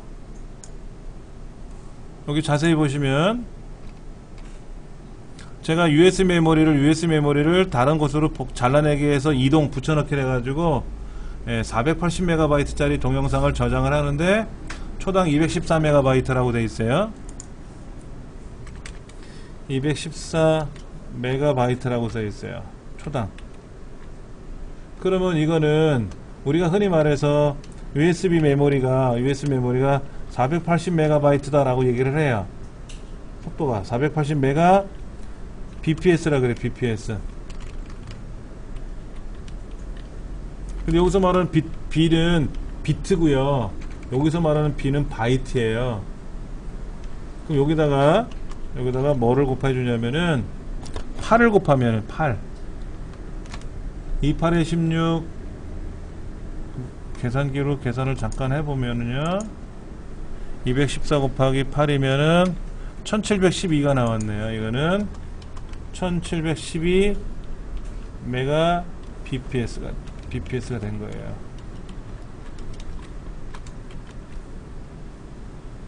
그러니까 제가 지금 사용하는 USB 메모리가 1712 메가 BPS로 움직인 거죠 어. 480은 이론적으로 480이 나오는 거지 실제로 480 안 나와요. 여러분 USB 메모리 복사해서 한번 붙여보세요. 얼마나 빨리 가는지. 그 제가 그런 말을 하잖아요. 프로그램 복사해달라고 했을 때 제가 여러 개를 꽂아서 복- 프로그램 복사해드리면서 어, 어느 분 거는 좀 느리네요 이런 얘기를 하거든요. 요 속도가 떠요. 그게 요렇게 속도가 뜨거든. 요 속도를 보고 어, 어느 분 건지 좀 느리네요 라고 얘기를 하는 거죠. 근데 이게 빠른 게 아니라 제 컴퓨터가 구형이잖아요. 최신 컴퓨터 같으면 어떨까요? 엄청 더 빠르겠죠. 엄청 더 빠르겠죠. 근데 구형인데도 이 속도 나오거든요.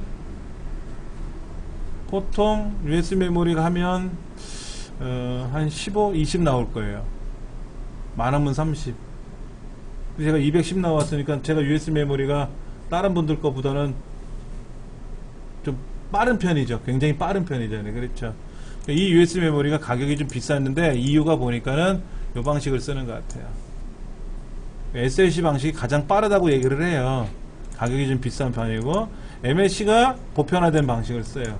TLC는 쓰지 마세요라고 얘기를 하는데 근데 여기 보면 TLC라고 써 있잖아요. 샌디스크가 TLC 방식이라고 써 있지 않습니까? 근데 TLC가 이제 일반 TLC가 있고 여기는 이제 MLC고요. MLC 방식이 빠르죠. 그런데 이 TLC가 과연 얼마나 빠를지 좋을지는 모르겠어요. 그럼 샌디스크가 그 유명한 브랜드인데 그걸 모를까? 뭐 새로운 방식이 있겠지만 하여튼 우리 교과서로 봤을 때는 논리적으로 봤을 때는 MLC를 쓰자. TLC는 쓰지 말자. 이게 보편화된 방법놀이입니다. 자, 요렇게 요거는 규격이 똑같아요. 이게 사타 방식이라는 방식 요거고요. 예. 근데 이게 아까 속도가 얼마 나왔다고요? 아까 저 꼭대기에 보니까는 520MB 나온 거죠? 520MB. 예. 이거 쓰면 굉장히 좋죠. 그 우리가 사타 3가 사타 방식 3가 얼마냐면은요. 어, 6000 메가 bps예요.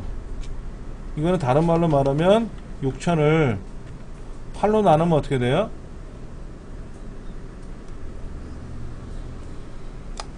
또 계산기를 또 아, 큰일 났습니다. 계산이 안 돼요. 이제 머리가 6000을 8로 나누면 750이에요. 그럼 750이 되는 거죠. 750. 그럼 750 메가 요게 이렇게 되는 거죠. 750 메가가 되는 거예요. 그런데 여기는 뭐라고 되어 있다고요? 속도가 아까 보니까 520이라고 써 있죠? 520. 그 사타 3 방식인데 사타 3 방식인데 6기가라고 써 있잖아요. 6기가. 6기가라는 게 6000이에요. 6000인데 실제로 얘를 측정해 보면 750이 나와야 되는 거죠. 근데 얼마큼밖에 안 나온다? 520밖에 안 나온다라는 거죠. 음. 그것도 감안해서 쓰셔야 되고.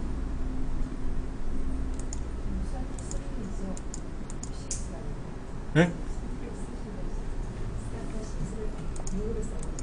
그러니까 이런 하드, 이런 SSD를 쓰면은 일반 하드 디스크도요. 일반 하드 디스크도 세타 6은 어, 아 6000, 어, 세타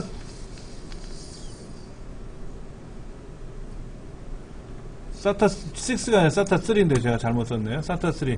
6기가 bps라고 써 있지만 1호는 6기가로 돼 있어요. 근데 실제로 실제로 이게 하드디스크 자체 내에서는 복사해서 붙이면 똑같은 게 하나 더 복사되잖아요. 그럴 땐 빨리 갈 수 있겠지만은 이론적으로는 그런데 실제로 우리가 복사해서 붙여넣기 하면 그 속도 안 나오더라고요. 제가 사용하는 USB 메모리도 일반 USB 메모리에 60배 빠르다고 지금 나온 거거든요. 보통 USB 메모리가 480이고 USB 3.0 방식이 5000이란 말이에요. 5000. 그럼 10배 빠른 건데 저는 10배 빠른 게 60배 빠른 거로 산 거거든요. 근데 실제 그 속도 안 나와요. 왜? 저희 집 컴퓨터 환경이 옛날 거라서 그런 것도 있고. 신형 컴퓨터를 꽂으면 그 속도가 나올지는 사실은 아니올시다지. 이론적으로는 그렇다는 뜻이고 실제로 해보면 이 속도 안 나오잖아요. 당연히 6, SATA 3 방식이라면 750이 나와야 되는 건데 이론적으로 말한다면 얘는 이론적으로 750이 안 나오고 아까 얼마 나왔다? 520밖에 안 나왔잖아요. 실제로는. 그럼 이제 여기다가 우리가 윈도우를 일단 설치해 놓으면 그래도 빠른 거지. 520이면 빠른 거예요. 네.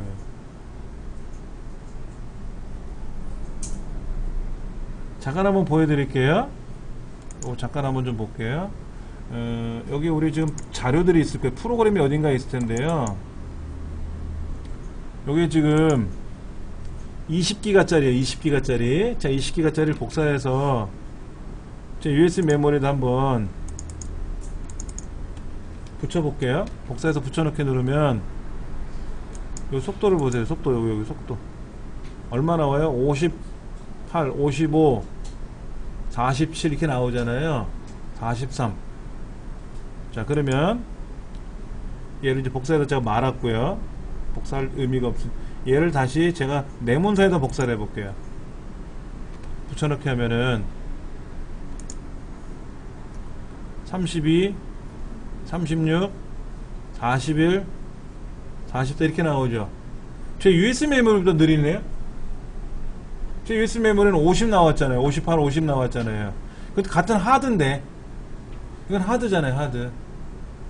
하드 디스크에다가 복사를 하는데도 속도가 46, 43밖에 안 나오면 USB 메모리만도 못- 못하다라는 거잖아요. 그렇죠.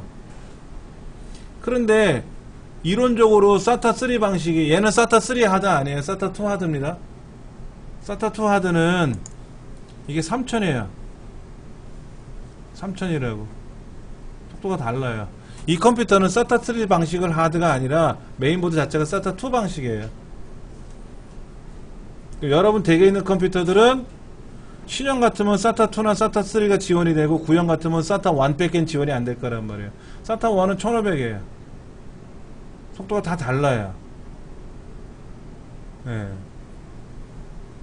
그런데 문제는 얘예요. 예, 예. 지금 SSD를 여러분 우리 강의실 컴퓨터도 꽂았어요.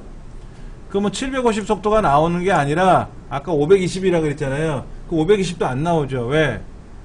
걔는 SATA 3 방식이었을 때 이 속도가 나온다는 거고 우리 강의실 컴퓨터는 SATA 2 방식이란 말이에요. SATA 2 방식은 절반밖에 안 돼 속도가. 그럼 이론적으로 750이 아니라 이거의 절반밖에 안 되는 거니까 실제 속도는 그것도 절반으로 내려갈 수 있죠. 그것도 맞춰봐야 되는 거예요. 분명히 이 컴퓨터에는 SATA 3 방식이라고 했는데 SATA 3 방식이라고 써놨는데 우리 강의실 컴퓨터는 우리 집에 있는 여러분 댁에 있는 컴퓨터에는 SATA 3가 지원이 되는 건지 SATA 2만 지원이 되는 건지 아니면 SATA 1만 지원하는 건지 그에 따라서 달라질 수가 있기 때문에 그건 감안해서 우리가 계산해야 되고 최대 속도는 이론적으로 이렇다 이런 얘기지 예. 그런데 과거에는 뭐라 그랬냐면요 TLC 방식의 USB 메모리를 사용하면은 읽고 쓰는 속 읽고 쓰는 횟수가 있어요. 그게 천 번밖에 안 됩니다. 이런 얘기가 나왔었거든요. MLC 방식을 쓰면 뭐 만 번 정도 씁니다. 쓰고 지우고 쓰고 지우고 하는 걸 만 번 정도 합니다. 그런데 여기는 지금 150만, 175만 시간 쓴다고 돼 있잖아요. 그럼 얘도 복사해서 붙여넣고 복사해서 붙여넣고 잘라내기 복사해서 붙여넣기 삭제하기 휴정이 갔다가 왔다가 할 거 아닙니까? 그러면 TLC 방식은 수명이 짧다라는 얘기잖아요. 그러니까 이거는 이제 과거의 이론은 그랬다고 하는 거고 지금은 그게 바뀐 거겠죠. 바뀐 거겠죠. 예. 여기 보면 SLC, TLC, 플래시 블록을 모두 사용해서 내구성을 개선했다. 여기도 보면 SLC 나와 있네요. 그렇죠? 예, 먼저 모든 데이터를 SLC 블록에 쓰기 때문에 TLC 블록에 대한 쓰기 증폭이 감소합니다. 캐시 기능을 이용하는 거예요. 캐시 기능을 이용해서요. 예, 그래서 잘 돌아가니까 너무 걱정 안 해도 된다. 이런 얘기가 되겠죠. 어.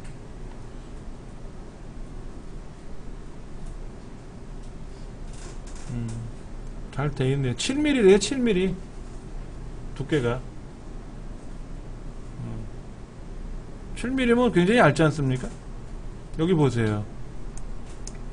속도가 있대요.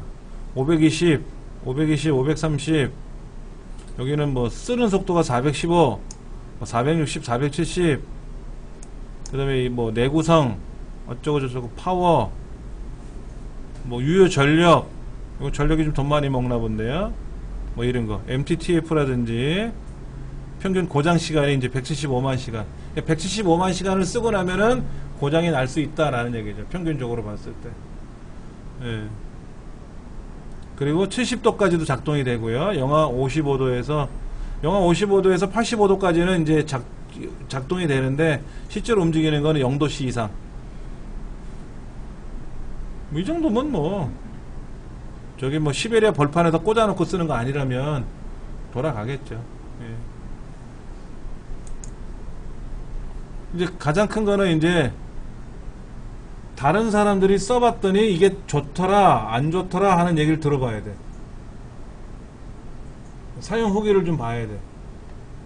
근데 여기서 말하는 뭐 샌디스크라든지 ADATA라든지 하는 이런 브랜드들은 나름대로 제조회사들이 유명해요. 뭐 삼성 유명한 것처럼. 예. 믿고 쓰는 거죠. 근데 이거는 128GB인데 48,000원이고요. 아까 요거는 64GB인데 48,000원이고요. 얘가 저렴하죠. J2.com이라고 하는 이 제조회사에서 제작한 게 용량은 더블인데도 불구하고 가격이 저렴하거든요. 여기 381원이에요. 얘는 761원이에요. 가격이 많이 차이 나지 않습니까? 얘는 1000원이에요. 1100, 1094원이에요. 이거 469원이고요. 아까 하드는 어땠었죠? 40몇 원, 50몇 원 했잖아요.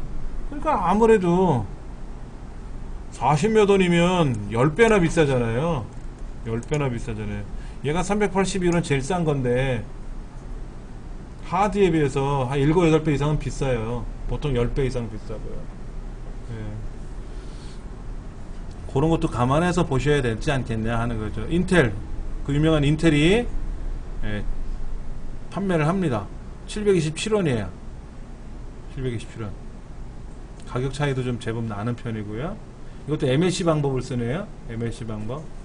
MLC는 이제 두 개죠. TLC는 세 개고요. MLC 방식이 좀 좋은 것 같은데 얘는 어떻게 240만 시간이래요. 240만 시간. 대를 이어서 뭐 몇백 년 쓰라는 얘기네요. 예.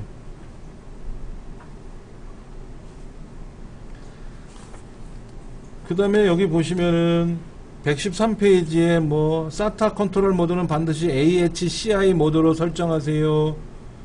빠른 포맷으로만 포맷을 하고 디스크 조각 모음을 사용하지 않습니다. 라고 되어 있어요.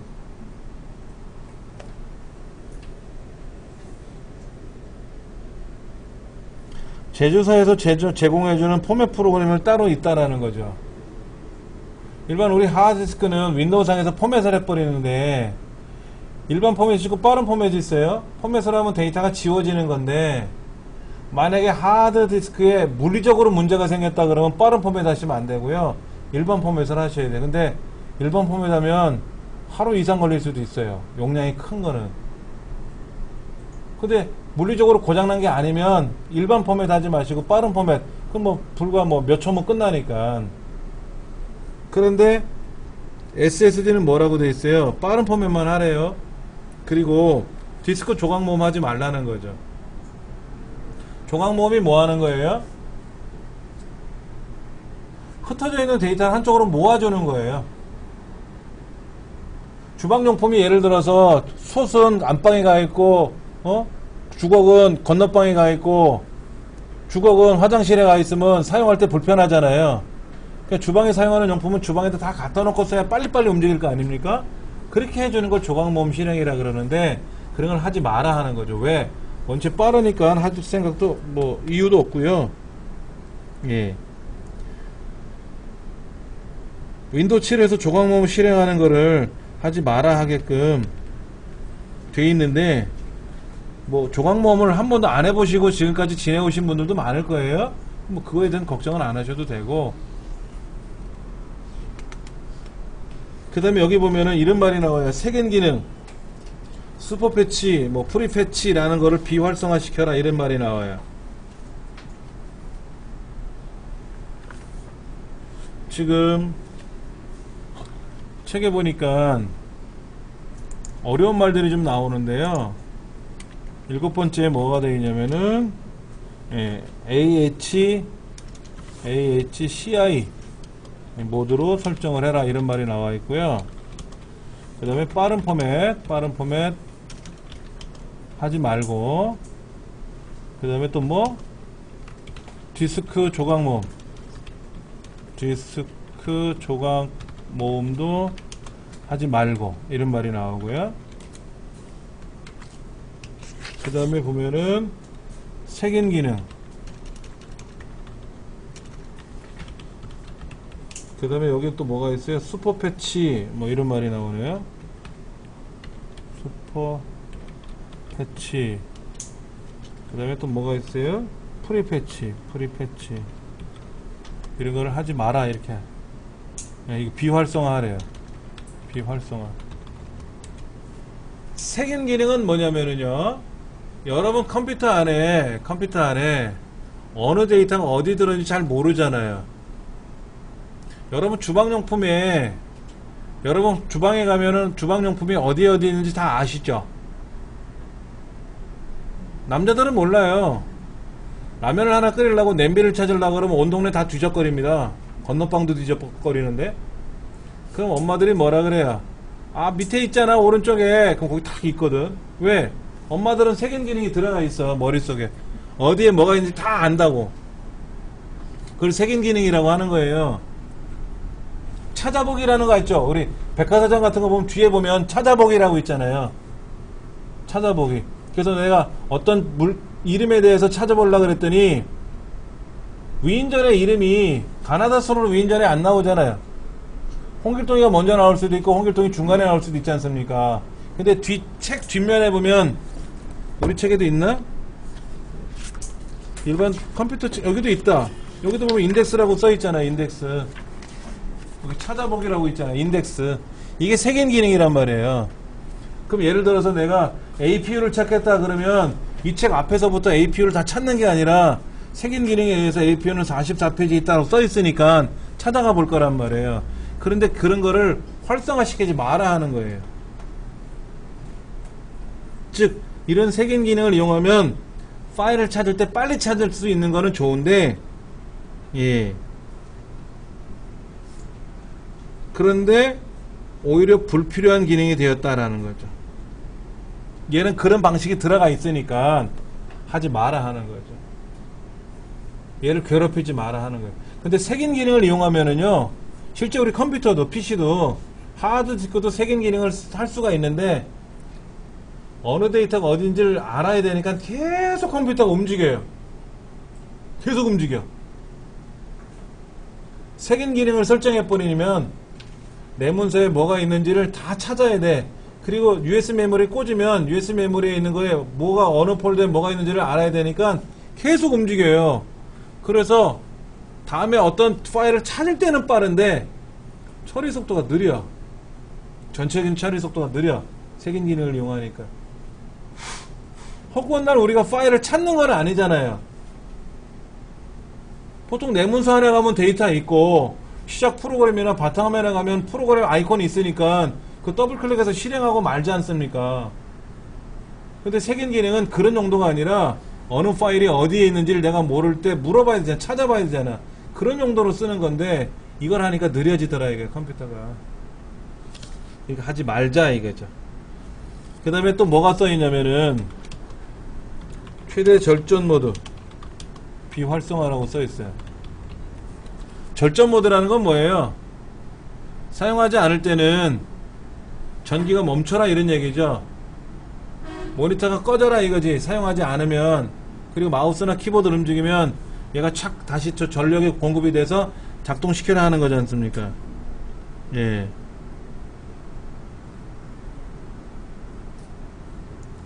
그런데 최대 절전 모드를 설정하는 활성화하려면 전기요금은 줄어들 수는 있는데요.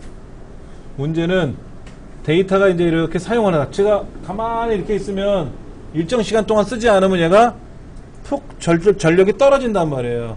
그리고 이제 마우스나 키보드를 움직이는 순간 전력이 다시 공급이 되면 검사를 해요.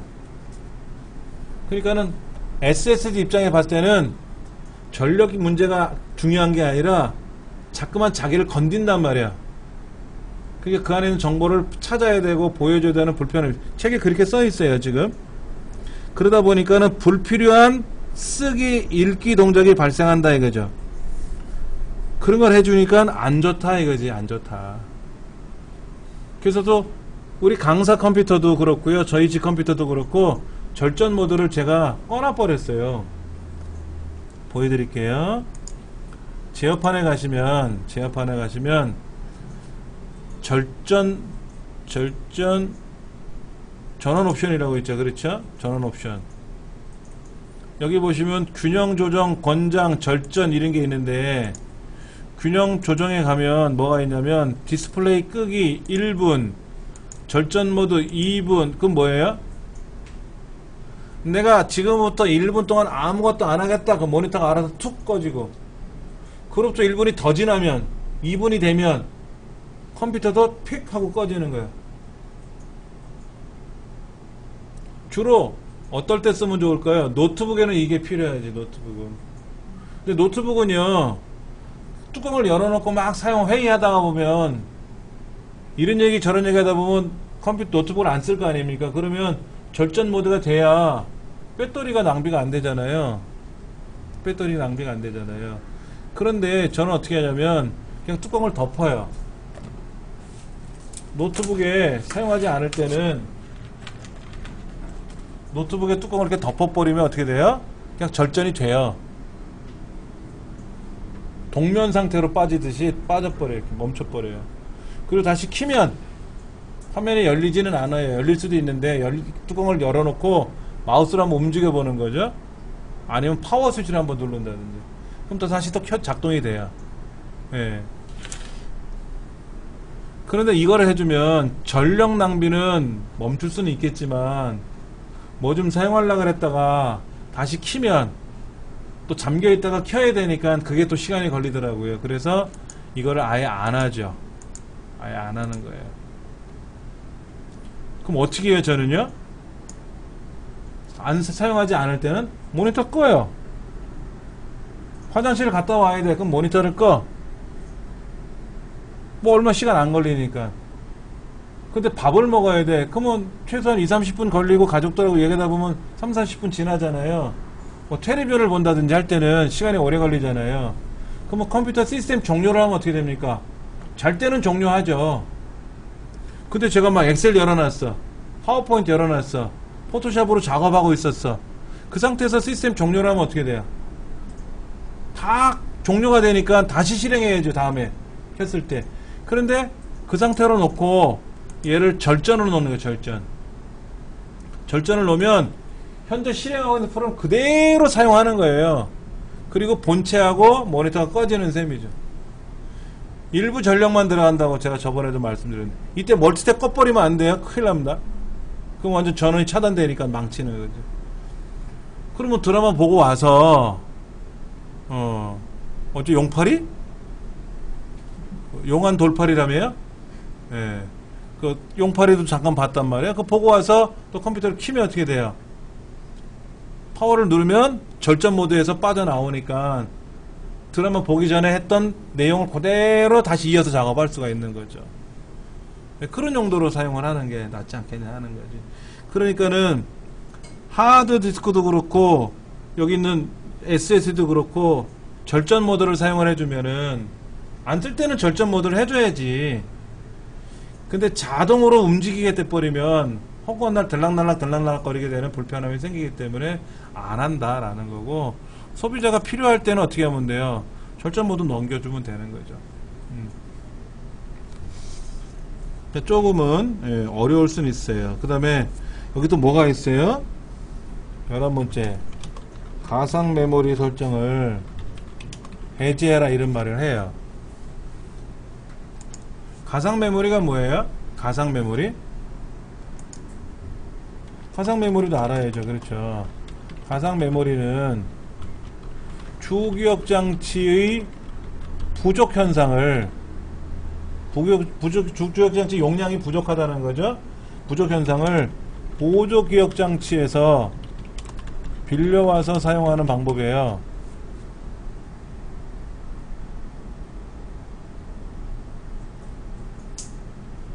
자, 우리 하드디스크가 예를 들어서 500기가다 이거 500기가. 500기가 다 안 쓰잖아요. 한 10기가는 남겨두고 쓰자 하는 거지. 그럼 10기가를 주기억 장치처럼 빌려주자 이거야. 주기억 장치 공간에다가. 그 우리 강의실 컴퓨터가 주기억 장치가 2GB밖에 안 되니까는 저쪽 보조기억 장치 하드에서 10기가를 빌려오면 12기가가 되잖아요.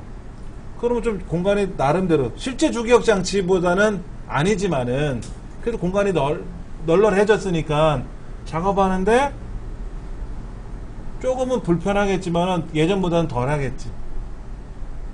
실제 주기억 장치가 2기가인데 실제 주기억 장치 12기가면 좋지. 돈이 비싸니까 보조 기억 장치 빌려오는 거예요. 주기억 장치처럼 쓰는 거지. 그럼 주기억 장치, 보조 기억 장치 입장에서는 500기가인데 10기가 빌려주는 거예요. 뭐 얼마 안 되니까 그냥 쾌척했단 말이에요. 빌려줬는데. 주기억 장치는 나름대로 활성화가 잘 돼서 돌아가고. 그래서 서로 협력하는 거예요. 서로 협력하는 거예요. 그런데 SSD는 그걸 하지 말아라는 거예요. 왜냐면 SSD는 공간도 작고 여기 뭐라고 써 있냐면 보세요. 하드 디스크 램에 램, 램. 램이 주기억 장치예요. 주기억 장치의 그 가격을 비싸고 하는 거를 대신해서 보조기억 장치를 사용하는 건데 아래줄에 SSD를 사용할 때 가상 메모리 기능을 이용하면은 SSD와 메모리 사이에 자료를 보내주고 받아주는 그런 과정이 생긴단 말이에요. 그걸 스와핑이라 그래, 스와핑. 교환하는 거, 교환. 이런 게 발생하니까 어떻게 된다? SSD의 수명을 저하시킨다라는 거죠. 예.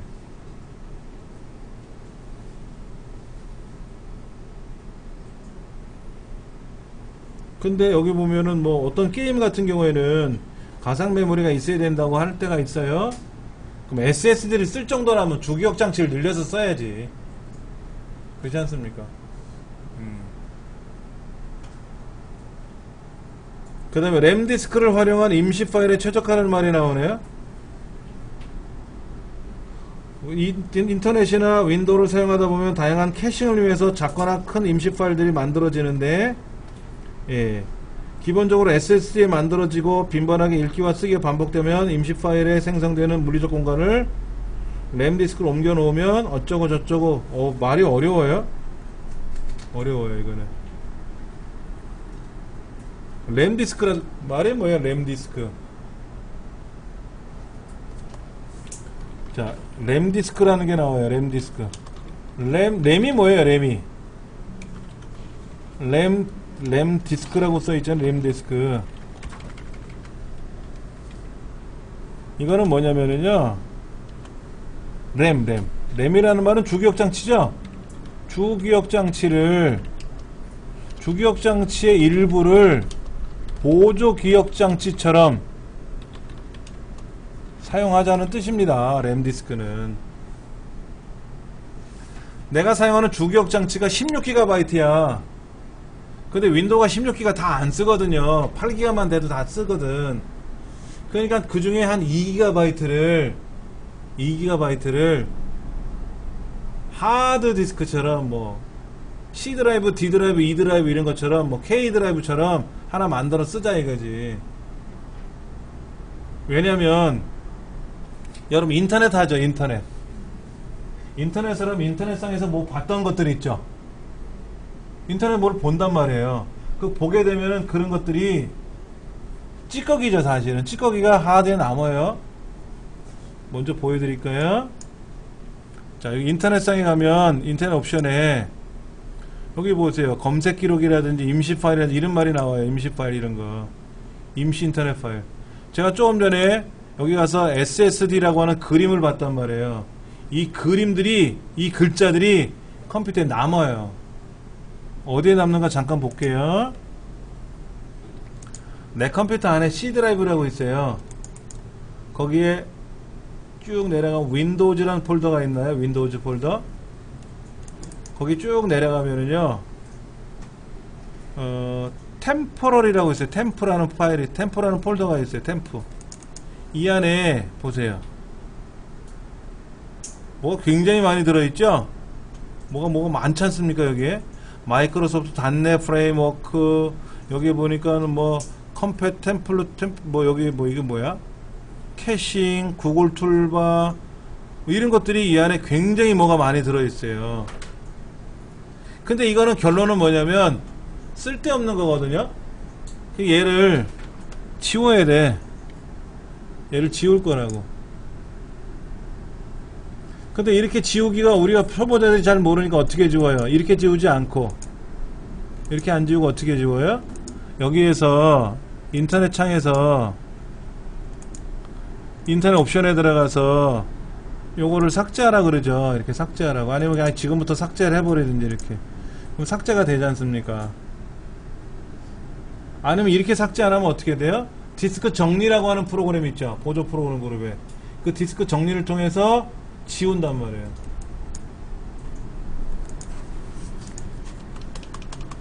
PC 내에는 PC 내에는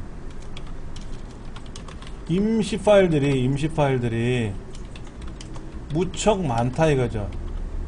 그런데 이 임시 파일들이 SSD라는 곳에 들어가면 왜냐면 인터넷이 SSD에 설치되어 있잖아요. 윈도우가 SSD에 설치되어 있으니까 그런데 이 임시 파일들이 SSD에 들어가면 필요 없을 땐 제거해야 되고 또 컴퓨터가 알아서 제거하고 말고 막 하거든요. 그러면 내가 원할 때 제거하는 게 아니라 지 알아서 제거하는 게 있으니까 편리성은 있지만 수명이 줄죠? 수명이 준다는 거죠. 그러니까 이 수명을 줄이기 위해서는 뭐를 임시 파일들을 안 쓰면 좋은데 임시 파일이 안 생길 수가 없으니까는 주기억 장치의 일부를 K 드라이브로 만들어서 N 드라이브로 M 드라이브로 만들어서 임시 파일을 거기에 저장시킨 명령을 걸어 놓으면은 인터넷상에서 일어나는 모든 임시 파일들이 SSD가 아닌 주기억 장치에 있는 램 디스크에 들어갈 거 아니냐 이거죠. 그럼 램 디스크는 주기억 장치를 보조기억 장치와 쓴 거지 않습니까? 근데 전원이 꺼지는 순간 내용이 지워지죠? 껐다 키면 어떻게 돼요? 깨끗하거든. 그러니까 SSD 입장에서 봤을 때는 내가 해야 할 일을 제가 다 해주니까 어때요? 깔끔하지 항상 그 수명도 연장이 되고 수명이 줄어들지 않는다라는 거죠. 그러니까 사용법이 복잡하죠? 사용법이 복잡해요. 이름은 좋은데 그냥 SSD를 딱 꽂아가지고 윈도우를 설치하면 컴퓨터가 알아서 만들어져가지고 이런 것도 안 되고 저런 건 되고 막 하게끔 해주면 좋은데 그건 아닌 것 같고 휴지통 사용 안 한대요. 뭔 얘기예요? 휴지통을 사용 안 한다? 이건 걱정되는데? 휴지통을 사용하지 않겠다. 휴지통 사용하지 않겠다라고 나와 있고 또 뭐라고 되어 있어요, 거기. 시스템 복원 기능 있잖아요. 복원 기능. 복원 기능을 어떻게 하겠다? 사용하지 말아라. 이런 얘기 나온 거 있잖아요. 휴지통의 역할이 뭐예요? 불필요하면 삭제하고 필요하면 땡겨 꺼내 쓰는 거지 않습니까? 근데 아, 이거를 하지 마라 하는 거죠. 들락날락 들락날락거리게 하지 마라 하는 거지. 예. 근데 시스템 복원이라는 말은 뭐예요?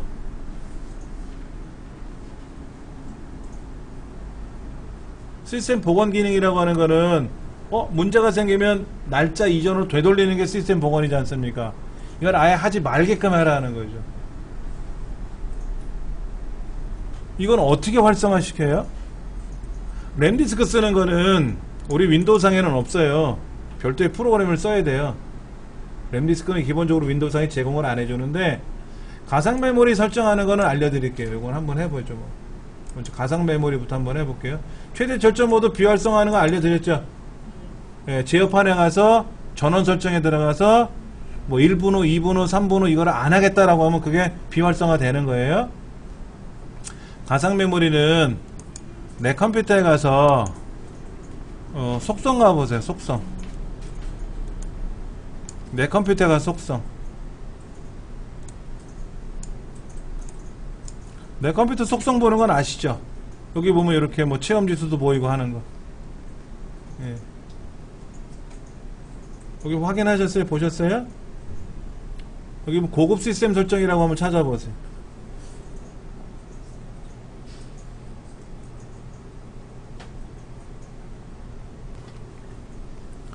고급 시스템 설정에 들어가시면은 여기에 성능, 프로세스 일정, 가상 메모리라고 있죠. 가상 메모리. 보셨어요? 가상 메모리? 요 가상 메모리 눌러보세요. 설정 눌러보세요. 그러면 여기 시각 효과 옆에 고급이라고 있어요. 시각 옆에 고급이라고 있어요. 그렇죠? 그럼 여기 보면 가상 메모리가 나올 거예요. 가상 메모리.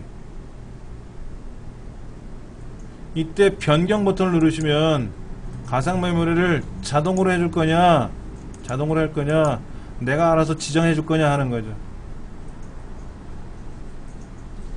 근데 제가 여기 있는 걸 자동이라는 걸 해제했더니 밑에 C 드랍에 있는 거를 쓸래 D 드랍에 있는 걸 쓸래 어쩌고 저쩌고 물어보는데 일단은 밑에 거를 보세요. 밑에 밑에 뭐라고 써있나 보세요. 최소 16메가는 써라 근데 최대 2900 이렇게 2.9기가까지 써라 이거 2.9기가까지 쓰면 되는데 현재는 1.9기가를 쓰고 있는 거죠. 저는 이렇게 나와요. 여러분은 저하고 다를 수 있어요. 제가 위에 있는 거를 자동이라고 안 하고 사용자가 직접 지정하게끔 하면은 2900이라고 쓰면 2.9기가가 하드에 있던 2.9기가 용량이 주기억 장치로 가는 거예요. 우리 강의실 컴퓨터가 2기가라 그랬죠? 그러면 4.9기가가 되는 거죠. 근데 이걸 체크하면 뭐가 돼요? 윈도우가 알아서 왔다리 갔다리 한다 이거지. 그런데 이 책에서는 뭐라고 되어 있는 거예요? 가상 메모리를 하지 마라 하는 거죠. 여기 이거 해제하고 밑에 거를 빼라 이거지 이렇게 파일 없음으로. 요거 요거 이걸 해라 이거지. 자동하지 말고 자동하지 말고 사용자 지정을 하는 거든지 시스템이 관리하는 크기라든지 이게 아니라 없음이라고 하면 뭐예요? 가상 메모리를 안 쓰겠다라는 얘기지 않습니까? 당연히 이렇게 하려면 주기억 장치가 커야 돼요. 얘는 2기가 밖에 없는데 가상 메모리조차 없으면 어떻게 돼요? 일 못해요. 이 컴퓨터에서. 우리가 이제 방에서 무슨 일을 하다가 부족하면 마루에다 펼쳐놓잖아요. 옛날 시골집 한번 생각해 보세요. 문 열으면 마루가 보이니까 마루에다 뭐 이렇게 쭉 길게 빼가지고 무슨 일을 할 수도 있지 않습니까? 그 마루가 가상 메모리라고 보시면 돼요. 실제는 방에서 일을 해야 되는데 방이 좁으니까 마루에다 펼쳐놓고 일을 할 수도 있다라는 얘기죠. 근데 방도 좁은데 문 닫아놓고 쓰라 그러면 펼쳐놓고 쓸 공간이 없지 않습니까? 그건 안 되지. 그러니까는 페이징 파일이 없게끔 해주면 가상 메모리 없어지는 건데 취소 일단 하시면 되고요. 그렇게 되면은 가상 메모리를 없애는 거는 문제가 아닌데 실제 주기억 장치 용량은 늘려놓고 말을 해야지. 그때는. 음, 그거만 우리가 챙기시면 될 것 같아요. 네, 요거 취소 누르시고 다시 여기선 다시 볼게요. 지금 시스템 속성에 보시면은 아까 그 컴퓨터 이름 뭐 하드웨어 고급에 가서 고급에 가갖고 우리 성능의 설정에 들어가서 가상 메모를 잠깐 봤고요. 그 밑에 한번 보세요. 시장 및 복구라는 항목이 있던데 여기 설정을 보시면은 여기에 어, 어, 어, 이건 뭐예요 여러분들 여러분 컴퓨터가 켜지면 컴퓨터가 켜지면 윈도우로 자동으로 넘어가죠 넘어가지 않습니까? 그런데 여러분들 이제 컴퓨터를 문제가 생길 수가 있죠. 정전이 됐다든지 해가지고 문제가 생겨서 껐다 켜지게 되면은 어 복원 모드로 들어갈래? 일반 모드로 들어갈래? 물어봐요. 안전 모드로 들어갈래? 어쩌고 저쩌고. 그때 보여주는 시간이 30초죠? 어, 여기서 말하는 그 30초는 그거는 아니고요. 여기서는 뭐냐면은 여러분이 윈도우를 설치할 때 우리 강의실 컴퓨터는 파티션이 3개죠. C 드라이브, D 드라이브, E 드라이브. 3개지 않습니까? 그러면 C 드라이브에는 현재 윈도우 7이 깔려 있으니까 윈도우 8을 D 드라이브에서 설치할 수 있어요. 그 다음에 리눅스라는 프로그램을 E 드라이브에서 설치할 수도 있어요. 파티션마다 운영체제를 다 따로따로 설치할 수가 있는데 그럼 만약에 윈도우 7, 윈도우 8, 윈도우 뭐 10 세 가지를 설치했다고 가정해 봅시다. 그럼 전원이 딱 켜면 어느 윈도우 쓸래? 라고 물어봐 줘야죠. 자동으로 7로 가면 안 되잖아. 자동으로 8로 가면 안 되잖아요. 7로 갈래? 8로 갈래? 10으로 갈래? 뭐 리눅스로 갈래? 어디로 갈래? 하고 보여줘야 될 거 아닙니까? 그 보여주는 시간이 30초예요. 근데 얘를 해제하면 어떻게 돼요? 켜지자마자 윈도우 7로 알아서 가는 거야. 근데 여기 윈도우 8을 선택해놨어. 윈도우 8을. 그래 놓고 나서 얘를 빼버리면 어떻게 돼? 걔는 껐다 켜지면 무조건 윈도우 8로만 가는 거지. 그러니까는 골라볼, 골라서 선택할 수 있는 시간을 줘야 되겠죠? 그걸 30초를 주겠다. 이런 얘기입니다. 근데 이거를 뭐 10초를 주면 어떻게 돼요? 10초 동안. 근데 이제 예를 들어서 윈도우 8을 선택해 놓고 10초를 주면 어떻게 돼요? 7, 8, 10세 가지가 떴는데 10초가 지나면 자동으로 윈도우 8로 가겠다. 지금 컴퓨터에서는 뭐야? 10초 후에는 알아서 윈도우 7로 가겠다 이거지. 이게 7, 10초 안에 목록 중에 골라라 이런 얘기지. 메뉴가 13개 몇 개 나올 테니까. 그 얘기고요. 그 옆에 있는 시스템 보호로 가볼게요. 시스템 보호. 여기 보호 가보시면 요런 말 나와요. C 드라이브 설정, D 드라이브 해제, E 드라이브 해제 이거 보이세요? C 드라이브 설정, D 드라이브 해제, E 드라이브 해제 이렇게 써 있지 않나요? 맞죠? 이게 뭐냐면은 복원 기능을 해주는 거예요. 여러분 컴퓨터에 문제가 생기면 보조 프로그램 그룹에 가셔서요. 이거는 이제 우리 컴퓨터 관리하는 측면에서 공부를 하셔야 되는 거지만 정비할 때도 우리가 좀 알아야 되니까 설명은 드리죠. 보조 프로그램 그룹에 가시면은 시스템 도구라는 폴더 안에 디스크 복원, 시스템 복원이라고 있어요. 복원. 이 복원이라는 프로그램은 함부로 하시면 안 돼요. 이거는 함부로 하시면 안 되고 문제가 생겼을 때 이전 상태로 되돌아가는 거예요. 예를 들어서 어제 저녁 때 뭐 인터넷을 하다 보니까 뭐가 죄다 깔린 것 같아. 그래서 아침에 컴퓨터 켜보니까 엉망이 된 거야. 인터넷만 들어가면 뭐가 죄다 열리고 난리가 아니야. 그럼 뭐를 제거해야 되는데 어제 설치된 걸 제거해야 되잖아요. 뭐를 제거해야 될지 모르지 않습니까? 그러면 어제 저녁 이전에는 안 그랬잖아. 어제 저녁 이전에는 안 그랬잖아요. 그럼 어제 저녁 이전 시간을 선택을 해서 되돌아가는 거예요. 그 이상한 프로그램이 설치되기 직전 상태로. 그런 게 복원이에요. 예.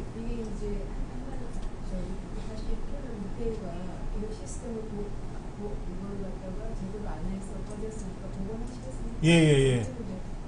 그 복원도 그런 기능이라고 보시면 되는데 예를 들어서 우리가 프로그램을 윈도우를 작업하다가 엑셀을 사용하다가 중간에 절전이 정전이 돼버리던데 펑 나가버렸어요.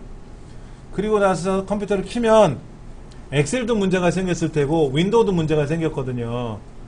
예를 들어 사람이 어디 넘어지면 다칠 수도 있고 피가 날 수도 있고 부러질 수도 있지 않습니까? 이제 그걸 한번 한번 하자 이거지. 하고 가자 이거야.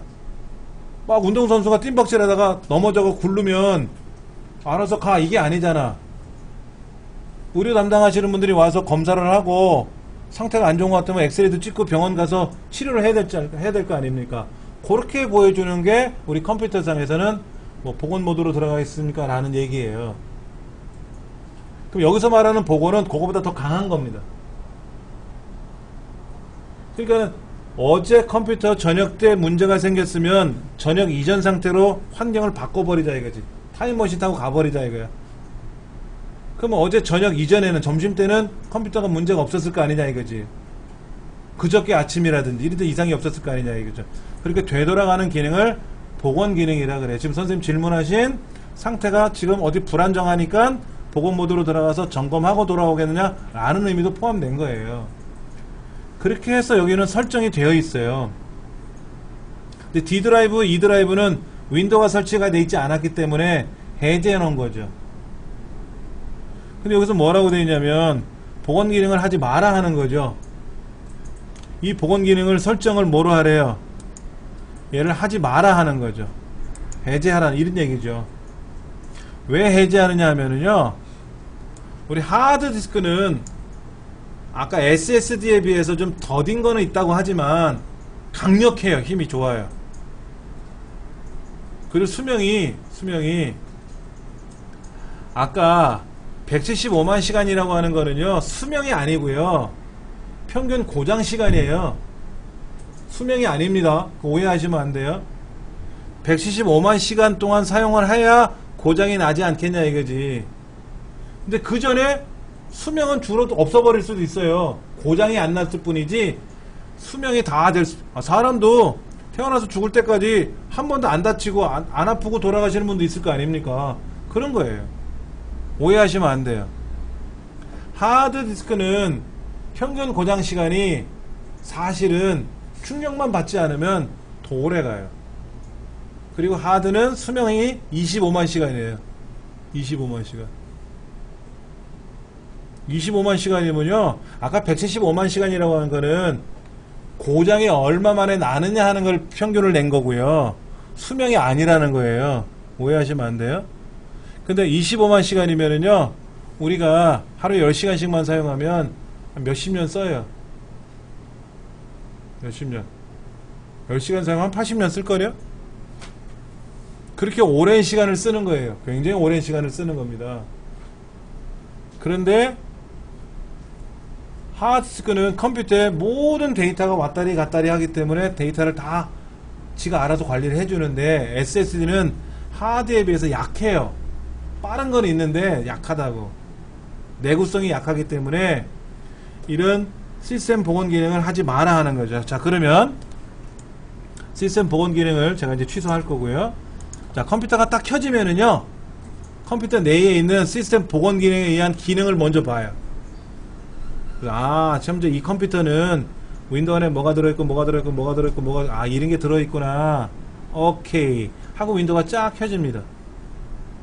그러다가 내가 어떤 A라는 프로그램 설치하면은요, 야, 이 컴퓨터는 A라는 게 설치가 됐으니까 컴퓨터야, 요 기능도 기억해둬. 하고 기록이 돼요. 기록이 돼. 그러니까 무슨 일이 생길 때마다, 무슨 일이 생길 때마다 컴퓨터는 그 기억을 기억시켜야 돼. 어디에다가? 하드디스크 저장 공간 안에다가 사용자는 잘 모르는 어디에다가 그걸 계속 보관해둬요. 보관해뒀다가 문제가 생기면 그 날짜에 맞춰가지고 꺼내오는 거예요. 그러다 보니까 결론적으로 느려요. 느려, 느려. 이런 거 저런 거다 참견하고 와야 되니까. 근데 컴퓨터를 잘하는 사람들은요, 소 시스템 복원 기능을 안 해요. 그럼 컴퓨터를 키면 되게 빨리 움직입니다. 그리고 뭐를 뭐 프로그램을 삭제하거나 설치하더라도 설치되고 끝나는 거예요. 그 설치된 거, 삭제한 거를 기록을 안 해놔도 돼. 그 빨리 움직이니까 훨씬 좋은데, 만에 하나 문제가 생기면 어떻게 돼요? 팩 꼬꾸라지는 거지, 뭐. 운동선수가 운동하다 말고 갑자기 쓰러졌는데, 그런 거를 확인을 안 하는 거야. 근데 이 사람이 벌떡 일어나서 괜찮으면 괜찮은데, 운동하다 보면 많은 사고가 나타나지 않습니까? 근데 그런 거를 복원 기능을 해주면 다 챙겨나는 거고 관리해주는 거고 기능을 안 해주면은 그런 걸 안 하는 거니까 빨리 움직이는 건 가능하죠. 빨리는 움직여요. 근데 그게 SSD가 약하다 보니까는 이런 기능 저런 기능을 다 똑같이 써주면 힘이 약하다라는 거죠. 수명이 줄고 그래서 그런 거지. 예. 그래서 사실은요, 어, 우리가 이제 윈도우도 설치해 볼 거예요. 수업 시간에 윈도우를 설치하는데, 윈도우를 설치할 때, 흔히 말하는 정품. 정품으로 윈도우를 설치하면, 이 시스템 복원 기능이라든지 이런 게 다 활성화가 돼서 들어가요. 근데 이제 그 야매라고 하죠. 어둠의 경로를 통해서 다운로드 받아서 쓰는 윈도우들은요, 이런 시스템 복원 기능들이 활성화되어 있지 않아요. 그러니까 그런 윈도우로 설치하는 사람들은 내 컴퓨터를 자기가 알아서 관리할 줄 알아야 된다는 거죠. 아는 사람이니까 그런 걸 쓰는 거지. 모르면 삼성전자 컴퓨터 사라 이거야. 정품 윈도우 깔려 있는 거 사라 이거지. 근데 저는 어때요? 삼성 거 안 쓴단 말이에요. 삼성 노트북이 있긴 있지만 제가 윈도우 깔아서 쓴단 말이야. 알아서 내 편한 대로. 근데 초보자들은 자동으로 좀 더디더라도 어, 알아서 잘 관리해주는 게 기능이 좋고요.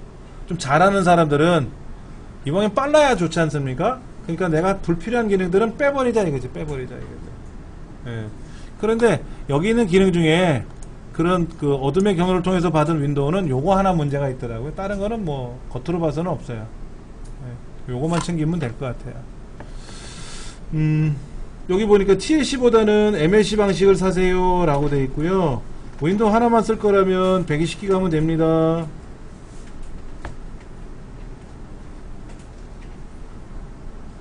지금 어 250짜리를 사고 싶다 그러면 어떻게 돼요? 120짜리를 두 개 사지 두 개 살 거냐? 통으로 하나 살 거냐 이거죠. 근데 하드는요.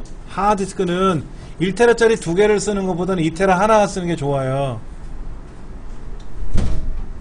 1테라 두 개를 쓰면 용량은 2테라가 되지만 전기요금이 두 배로 먹어요. 그리고 1테라짜리 두 개 샀다고 해서 2테라 되는 건 아니라 그랬잖아요. 그렇지 않습니까? 그럼 내가 1.5테라짜리 저장하려면 어떻게 돼요? 안 들어가지. 1테라 1테라니까. 2테라 하나를 쓰면 공간도 큰 거를 활용할 수가 있고 전기요금도 덜 먹으니까 좋은데 SSD는 고장이 좀 많이 나는 건지 뭔지 몰라도 여기서 뭐라고 했냐면은 따로따로 사서 쓰세요 라고 하는 표현을 하는, 하는 것 같아요. 근데 이 책이 어제 나온 책이 아니잖아요. 한, 이, 이- 한 2, 3년 된 책이거든요.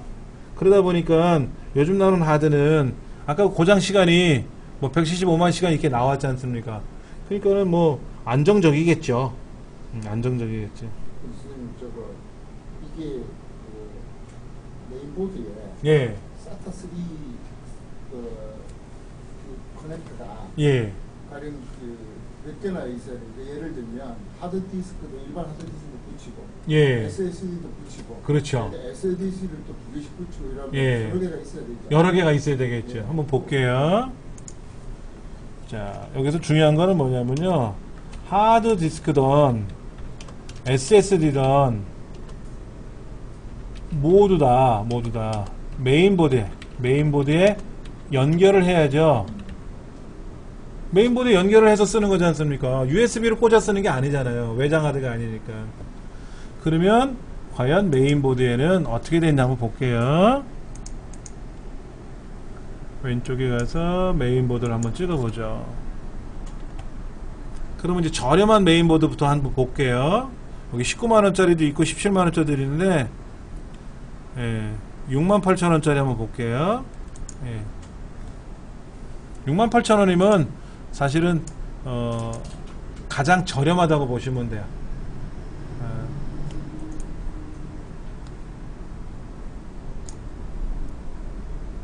여기가 지금 여기가 이제 키보드 마우스 꽂는 자리죠 이쪽이? 여기 보면 노란색 보이세요 노란색? 검은색도 두 개 있는데? 검은색 요거 여기 기역자처럼 꺾인 거 있죠 이렇게? 기역자처럼 꺾인 거. 여기는 좀 눕혀져 있네요. 노란색 네 개하고 검정색 두 개가 있죠. 그러면 여- 이게 SATA 포트, 포트거든요. 얘는 여섯 개 있는 거죠. 이 메인보드는 저렴한 메인보드에 6개가 붙어 있는데 어떻게 지원하는지를 봐야 돼요. 어, 인텔이고요. 메모리 슬롯은 4개고요. 여기 뭐라고 되어 있냐면은 SATA2 SATA2 포트가 있고요. SATA3 포트도 있대요. 그러면 두 개짜리가 3인지 네 개짜리가 3인지 모르잖아요.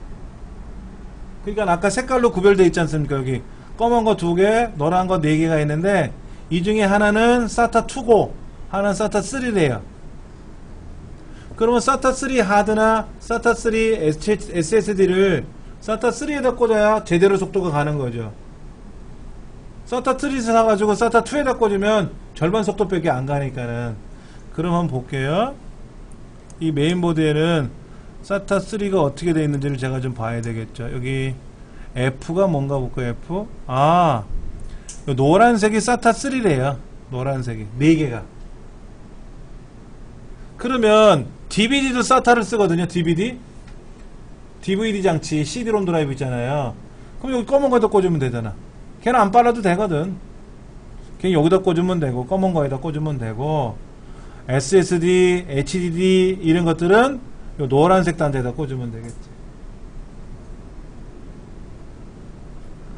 자, 여섯 개가 있고요. 다른 거, 좀 비싼 거 한번 볼게요, 그러면요. 21만원짜리 한번 볼게요. 얘는 어떻게 돼 있나.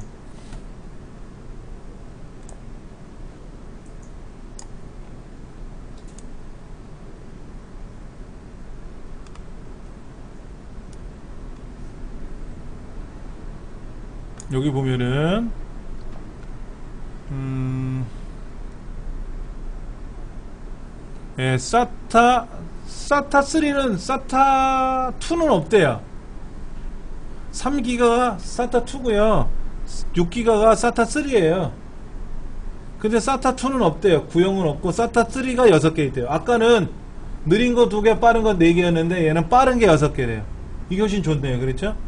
근데 M2도 있대요. M2. M2는 뭐냐면 SSD인데 초고속 SSD. 초고속 SSD 전용 소켓이 M2예요.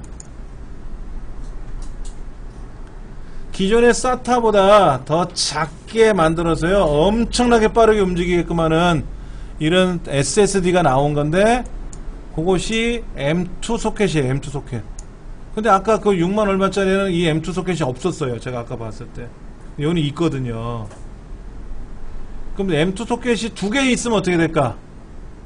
두 개를 꽂을 수가 있는 거고 얘는 한 개밖에 없다니까 그러면 하나는 꽂을 수 있지 않습니까?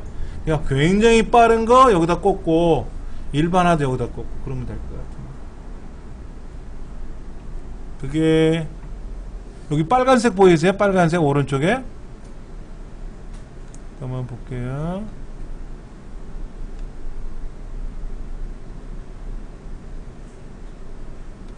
여기 외형이 이렇게 보이는데 얘는 그래픽 카드를 두 개를 꽂을 수 있나 봐요. 빨갛게 이렇게 돼 있는 거.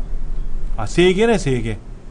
빠른 거 두 개, 느린 거 하나. 그래픽 카드를 세 개를 꽂을 수 있는 좀 특이한 경우고 여기가 지금 이렇게 빨간색이 옆으로 가 있는데 아마도 여기에 두 개씩 돼 있을 것 같아요. 두 개, 두 개, 두 개. 예. 그 옆면을 안 보여줘서 지금 예, 여기 사타 포트가 있는데 그 다음에 M2 M2라는 거 여기 있네요 여기 M2 M2는 10기가래요. 사타3는 6기가인데 M2는 10기가래요. 엄청 빠른 거죠. 두 배 가까이 빠르지 않습니까? 여기다가 여기다가 윈도우 8을 깔아갖고 전원을 탁 키면 똑딱 똑딱 2초 만에 윈도우가 쫙 나타나는 거예요 여기다 여기 요 M2 포트에 달려있는 거기에다가 윈도우를 깔아놓으면은 윈도우 7은 안 되고요. 윈도우 7은 무거워서 윈도우 8 같은 경우는 2초 만에 부팅이 다 된다는 거죠. 지금 그 옆면이 안 보이네요. 그렇죠? 그 옆에 빨간색 부분이 옆면이 안 보이는데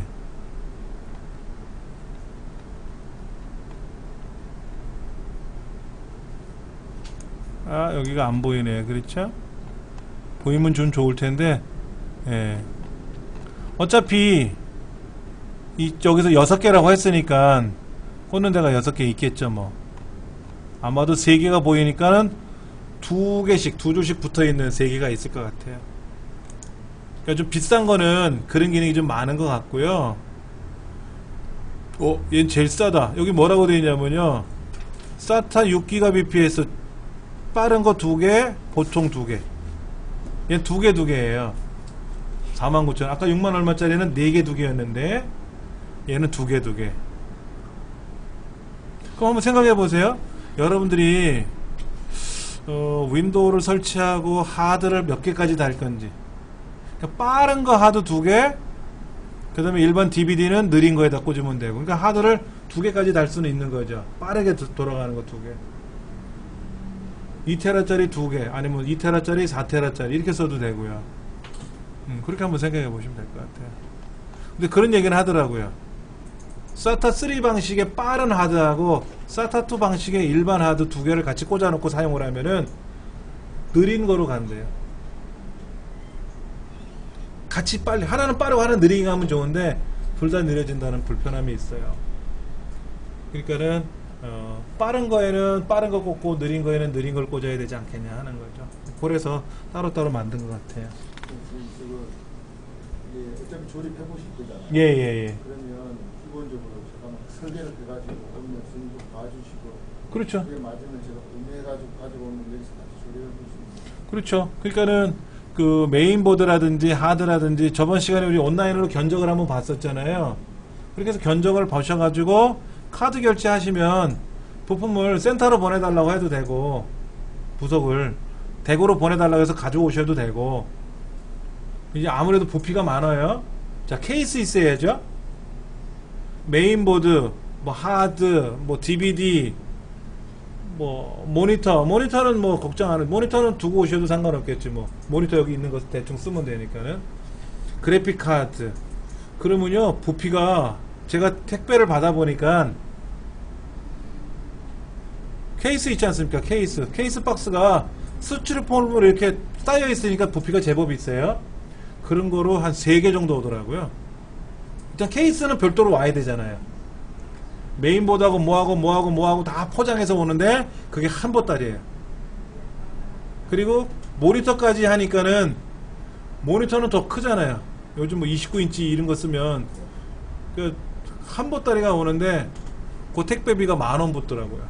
그렇게 다 보내주는데 예, 하나씩 보내는 게 아니라 덩어리로 막 보내야 되니까 택배비 만 원 추가 뭐 이렇게 돼.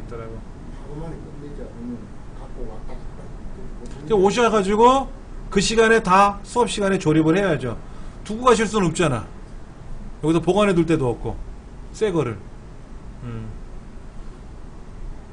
아니면은 용산 전자상가에 우리가 한번 탐방을 가서 용산에 가서 필요한 부품을 보고 거기 거래처들이 있으니까 거기에서 조립을 해달라고 요청을 하면은 그 사람들이 조립하는 걸 구경할 수도 있고 조립하는데 걸거적거리면 되게 또 치- 짜증내기도 하는데 뭐 고객이 쳐다보겠다는데 뭐라고 짜증내겠어요?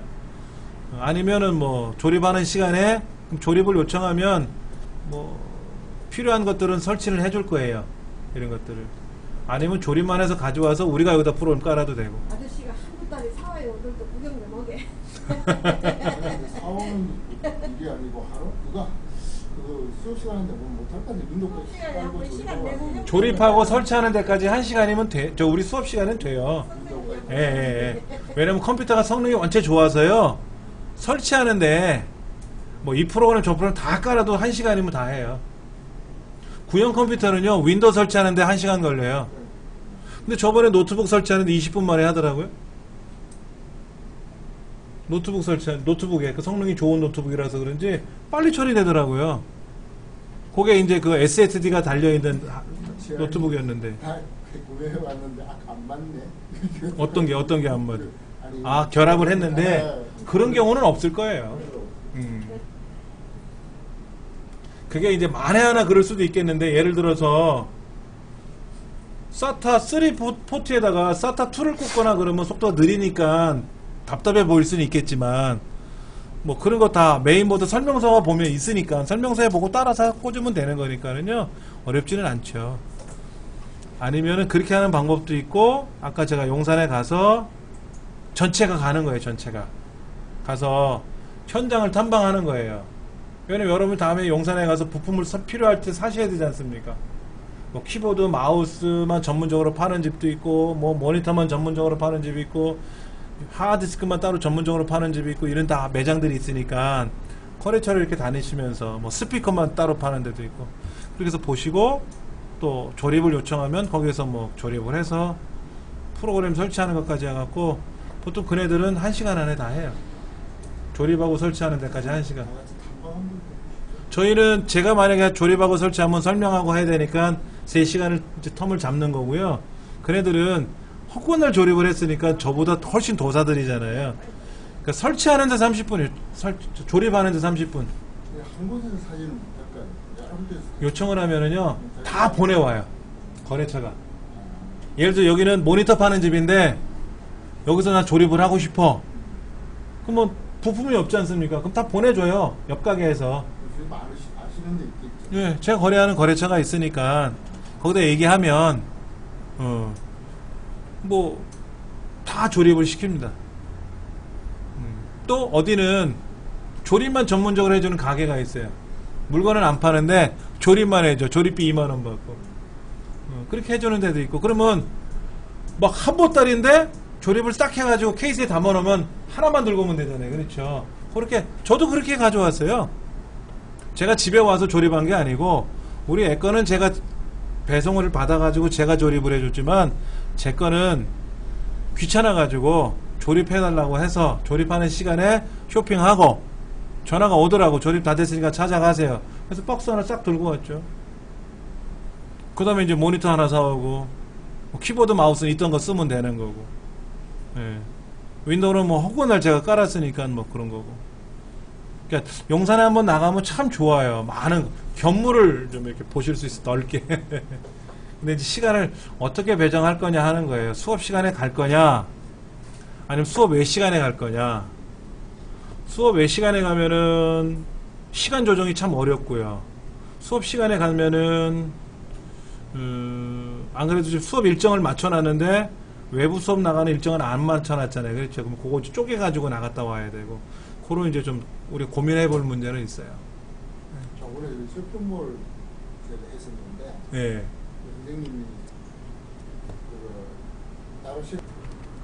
그 일정은 우리가 한번 한번 좀 조율을 해봐야 될 것 같아요. 지금 언제다라고 이렇게 지정할 수는 없으니까는 아마도 하게 되면은 근데 9월 9월 26일서부터가 추석이죠.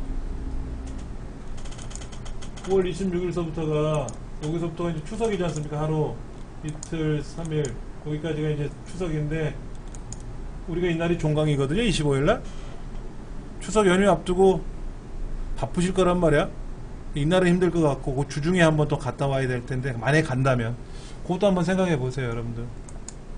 한번 다녀오시면 많이 들어요. 많이 들고. 예? 어, 지금 122페이지 보시면 거기 설명이 나와 있어요. 가, 색인 기능 비활성화하기, 뭐 가상 메모리 설정 해제하기. 아주 뭐 제가 설명 안 해도 잘 돼 있으니까 보시면 돼요. 그 다음에 125페이지 보시면 램 디스크라고 하는 거는 윈도우에서 제공을 안 한다 그랬잖아요. 그러니까 125페이지 보면 램 디스크라는 거를 하기 위해서 여기 사이트에 접속을 해가지고 쓰면 되는데 문제는 여러분 강, 댁에 있는 컴퓨터 메모리가 2기가다 이런 말 하지 마세요. 그 2기가도 짜, 모자라 죽겠는데 그걸 또 잘라서 써야 되지 않습니까? 그럼 안 되지. 예. 아, 뭐 8기가, 16기가 하면 몰라도. 그러니까 이런 게 있다라는 것만 좀 기억하시면 되고요. 예. 그 다음에 다음 시간에 이제 CD, DVD 같은데요. CD, DVD야 뭐 어려운 거는 아닙니다. 이거는 뭐 쉽게 처리할 수 있는 거고. 그 다음에 케이스, 뭐 프린터, 파워 이런 거는 뭐 한꺼번에 묶어서 설명하면 금방 끝날 것 같습니다. 그 다음에 공유기. 여러분 되게 공유기 있으시죠? 이거 유무선 공유기 있으시잖아. 이거 설정을 잘 하세요? 여기에 와이파이 설정하는 기능 있지 않습니까? 패스워드 설정하는 거 있잖아요. 그걸 척척 하실 줄 아셔야 되는데. 못하시면 꽝 되잖아요. 그렇죠? 해야 돼. 예?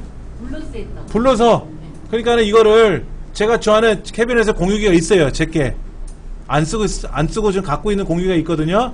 그거를 이 강의실 컴퓨터에다가 우리 최 여사님 컴퓨터에다 붙여가지고 한번 직접 해보시면 되잖아. 공유기 설정하는 거. 어. 강사 컴퓨터는 공유기 설정을 안 해요. 여기는 복잡하게 돼 있어서 안 하고 공유기 설정할 때는 여러분이 직접 한번 해보실 겁니다. 제 공유기 갖다 놓고 그러면 프로그램 설정하는 것도 있고 있는데 프로그램 설정할 것도 필요 없어요. 그냥 알려드릴 거니까. 그럼 댁에서 그대로 따라서 하시면 돼요. 어렵지 않으니까는요. 예. 다음 시간에 이제 DVD서부터 한번 설명을 드리고요. 이게 빨리 끝나야 뭐 조립을 하던 말던 뭐 구매를 하던 말던 하겠죠. 어. 아마도 8월 후반 쪽에 가야 조립을 할 거예요. 9월 초까지. 조, 조립을 해보면 그 다음에 또 윈도우를 설치해야 될 거 아닙니까? 윈도우부터 설치하고 조립할 수는 없잖아요. 그렇죠? 만약에 조립하는 게 새로운 부품으로 조립하기 여의치 않으면 기존의 컴퓨터가 있으니까 기존의 컴퓨터를 분해를 다 해서 그걸 가지고 조립하는 연습을 해볼 거예요. 그러면 조립은 거의 비슷하고 그리고 조립이 저도 많이 해봤지만 할 때마다 조심스러워요. 제 거도 조심스럽고 제게 아닌 다른 분 거라면 더 조심스럽잖아요. 그렇죠. 그러니까 막 진땀이 나기도 하고 어, 간혹 실수를 하기도 해요. 음. 그래서 뭐 이렇게 핀이 휘어지기도 하고 막 그런 데 생기고 그래가지고 용산에 가서 다시 교체해갖고 교환해서 다시 와서 한 적도 몇 번 있었어요. 오랜 세월 제가 이 작업을 해왔지만은 그래서 어, 일단 조립은 해볼 거니까 제 거 조립하는 거야 뭐 어렵지 않죠 저기 있는 거 그래서 해보고 그래픽 카드 설정하는 것도 해보고 또 메인보드에 있는 그 형태에 따라서 윈도우 설치하고 드라이버 깔고 하는 거 다 해보시면은 여러분들 자신감 생기실 겁니다 오늘 여기까지 하겠습니다.